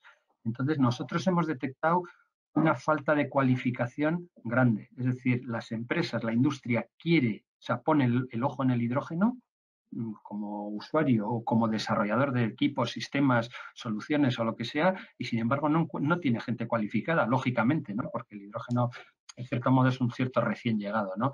Eh, eh, se están tomando medidas, o sea, yo sé que se, que se está organizando un máster en hidrógeno, eh, no os puedo dar yo ahora las coordenadas, pero sí las podríamos buscar y seguro que si buscamos en Internet máster en hidrógeno lo vamos a encontrar. Y luego nosotros, por ejemplo, tenemos un proyecto de investigación entre varios centros tecnológicos y precisamente eh, entendiendo esta, esta problemática de la falta de cualificación, estamos organizando también un programa de cualificación industrial. Está pensado para profesionales que están en la industria y necesitan precisamente esa cualificación. Entonces, bueno, ese programa ahora lo estamos diseñando y probablemente lo pongamos en marcha en 2022. ¿no? Entonces, eso es lo que os puedo comentar, es decir, la propia iniciativa de Tecnalia para hacer esa cualificación industrial y luego ese máster del que yo he tenido noticias y que me imagino que ahora habrá pues varias iniciativas. si alguno de vosotros está interesado, pues eh, podemos intentar buscar ese máster, pero seguro que lo encontráis eh, buscando un poquito en la red. Gracias, Javi. ¿Alguna otra pregunta? Gerardo, a mí me gustaría hacer una pregunta muy fácil y respuesta muy difícil. ¿Puedo o no hay tiempo? Claro, claro, claro. Tiempo siempre. Tanto para Javier como para Irati. Eh, digo porque que nos ayuda a reflexionar a los doctorandos y a los directores de tesis. Primero a Irati. Eh, Irati, de tu experiencia que llevas un año ya y que tienes una vocación investigadora clara que va... ¿Qué características piensas tú que tiene que tener un doctorando para que sea eficiente? ¿Qué, qué, metas nos tenemos que poner? Es decir, eh, desde metas muy sencillas, como que tiene que hablar inglés fluently, hasta que tiene que tener una curiosidad, hasta qué cosas tú piensas que, que debería tener un doctorando para que su labor sea eficiente y progrese adecuadamente. Pues para mí, lo primero de todo, paciencia. Mucha paciencia porque, por lo menos mi caso ha sido que hay veces que igual estás cuatro o cinco meses con el mismo tema, no sabes, eh, te está fallando, no sabes por qué está fallando, eh, miras las cosas cien veces, eh, no encuentras qué puede ser. Entonces, al final, yo creo que en un doctorando lo primero que tiene que tener es paciencia y también ganas, porque si no tienes ganas, al final acabas frustrándote y no llegas a ningún lado. O sea, eso lo primero de todo. Y luego sí que me parece interesante, o sea, que una persona que se vaya, vaya a hacer un doctorando tiene que tener también un poco de, carácter de investigación. O sea, al final, si, no te gusta investigar o aprender cosas nuevas, digamos, eh, tampoco vas a ponerle ganas y tampoco creo que llegues a, a ningún lado. No sé, para mí esas tres cosas son la clave luego el inglés y todas esas cosas al final son cosas que igual vas a ir aprendiendo poco a poco. O sea, yo, por ejemplo, a mí escribir me costaba un montón. O sea, no, no me gusta nunca eh, y me cuesta, pero bueno, ahora mismo acabamos de publicar dos papers y, y, al final pues te vas haciendo un poco a ellos. O sea, son cosas que vas aprendiendo a medida que vas haciendo doctorando. Pero las otras, si no las tienes, yo creo que no, no llegas a acabar un doctorando. Muchas gracias, Irati. La verdad que tres reflexiones bien importantes. Javier, y un director de tesis, ¿cuáles son sus retratos robot que debería de tener en este sentido? Eh, yo, yo casi esta pregunta se la pasaría a Irati, ¿eh? pero bueno, para ver qué, qué le gustaría a ella de un director de tesis. A ver, un director de tesis lo que tiene, no sé, a ver, eh, voy a improvisar un poco. Eh, primero tiene que, tiene que estar claramente involucrado con, la, con el doctorando y con la línea de investigación. ¿no? Nosotros lo que, por ejemplo, en nuestro caso, pues la gente que se involucra normalmente tiene que ser una línea de investigación que está relacionada con, lógicamente, con, su trabajo y con el, y con el interés. Y nosotros intentamos conectar esas líneas de investigación también con la industria, porque ya sabéis que nosotros somos un organismo un poco intermedio entre la universidad y la industria. ¿no? Bueno, pues buscamos haya esa conexión. Por ejemplo, Irati pues, está trabajando en un proyecto que es eh, interesantísimo, eh, muy disruptivo, pero hay una empresa ahí detrás. ¿no? Entonces, respecto al director de tesis, pues no sabría decirte mucho más. Yo creo que tiene que tener paciencia también, tiene que dedicarle tiempo, tiene que involucrarse con el doctorando claramente, o sea, no puede ser alguien al que le dicen, oye, ¿por qué no diriges esta tesis y tal? No, sino que tiene que ser algo que realmente esté involucrado en su trabajo, que le interese y, lógicamente, tiene que ver al doctorando como alguien que, va a estar colaborando con él, con ella, en, esta, en esa línea de investigación pero no sé qué más decir. O sea, yo en realidad le preguntaría a Irati, o sea, no iba de broma lo de pasar la palabra, diría, tú Irati, ¿qué esperas de tu director de tesis? A ver, yo creo que, ¿qué es lo que dices? O sea, yo creo que a, mí por lo menos, o sea, yo tengo un director en la universidad y otro en Tecnalia. Y tanto el de la universidad, que igual en el tema tampoco conoce tanto porque es más de tema automática, control, más de, que de electrónica, eh, yo tengo una reunión de seguimiento todos los lunes con ellos y al final se agradece, porque al final no es tú trabajas durante dos meses y luego muestras los resultados a alguien que te dice, ah, muy bien. O sea, al final, si un director está involucrado en tu tesis, va a tener un seguimiento más continuo y te va a poder ayudar mucho más. O también eh, el, cuando haces eh, pues salir ideas o lo que sea, pues al final van a salir tanto de tu parte como de su parte, porque al final vas a ver un poco también en lo que estás trabajando día a día, digamos, o semana a semana, y yo creo que es lo que tú has dicho, que al final eh, lo más importante de todo es que esté involucrado y que también sepa un poco del área en el que estás trabajando. Tenemos una, tenemos una pregunta que querían participar Jesús Ovellorri. Sí, hola, buenas. Soy, soy vamos, profesor del, del programa de doctorado que también dirige nuestro querido amigo José Emilio y he intentado, he seguido con mucha atención, os doy las gracias y como tengo incontinencia verbal, pues eh, uno tiene siempre la, la, necesidad de aportar algo, que ya son algunos años. Entonces yo en respuesta a esta pregunta le diría a todos los doctorandos que no esperen nada de su director o que esperen muy poco. Yo al menos eh, le digo a los míos, y eso tiene una explicación eh, clara, que la única tesis que defiendes o la única tesis que defiendes eh, en un plazo razonable la que eres capaz de autodirigirte. ¿Eh? Entonces, eh, es importante que el doctorando se anticipe al futuro y se ponga en el papel de, de director. Y eso es muy importante porque tu director te puede dibujar el bosque, que es importante. Para eso hace falta años y experiencias pero la obligación del doctorando es que el árbol que él ha elegido o, se le ha asignado es un árbol que conoce mucho mejor que su, que su, que su director. O sea, y que piense que probablemente para mí un doctorando es una persona que me enseña, porque claro, el bosque es muy grande y hablo del bosque por mis tareas investigadoras y no puedo abarcar todos los árboles. Entonces, eh, que tengáis claro, tener iniciativa. Yo siempre le digo a mis estudiantes que no estamos en la escuela, ni yo soy la seño. ¿eh? Entonces, huir de esa dinámica de que cualquier problema que tenga el árbol es el problema de tu director. No, no, es tu problema, tú tienes que resolverlo. Y esa es la actitud no solo para hacer tu tesis doctoral, ¿eh? sino la actitud con la que te debes de enfrentar a la vida. Así que eh, los éxitos y los fracasos son en gran medida eh, eh, responsabilidad del doctorando. Tu director, ya digo, tiene experiencia, te puede aconsejar, enseñar a escribir. Para aprender a escribir solo hay una receta, leer mucho. Pero que la tesis es tuya.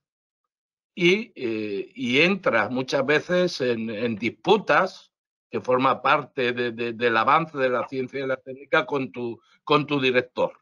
O sea, cuanto más activo sea el doctorando, cuanto más se sienta autodirector y autodidacta, aprenderá más y defenderá la tesis antes. Y eso lo tuve claro cuando yo hice mi tesis y lo he tenido siempre súper claro cuando he dirigido otras, otras tesis. Y de nuevo, gracias a Tecnalia, no os conozco, pero vamos, he disfrutado de este par de horas. Yo eh, también me siento doctorando, ojalá. Somos unos doctorandos permanentes, ¿no? Y por eso intento, en la medida en la que puedo, sumarme a todas estas iniciativas de las que aprendo bastante. Muchas gracias. Gracias a ti, Jesús. Pues no estoy seguro si hay alguna pregunta más, aunque estamos fuera de tiempo. Eh, yo quisiera ya dar por concluida, vamos a respetar el horario, aunque no hemos pasado 20 minutos, agradeciendo de nuevo a la Universidad de Córdoba y a la Universidad de Sevilla que organizan este doctorado, pues que haya contado con Tecnalia. Le hemos dado un concepto de visita virtual, hemos intentado que sea lo más visual posible con todos los ponentes que hemos tenido. Le hemos pedido que pongan vídeos e imágenes de nuestros laboratorios porque el concepto era una visita a Tecnalia con el grupo de doctorando, pero entre el COVID, el coste, el tiempo, etcétera, etcétera, al final hemos decidido por este formato que desde el punto de vista de coste, etcétera, etcétera, era mucho más operativo. Le dejo la palabra en un minuto para que José Emilio, que es el director del programa, cierre la sesión agradeciendo a todos la participación, a los compañeros de Tecnalia y sobre todo a los asistentes que son los protagonistas.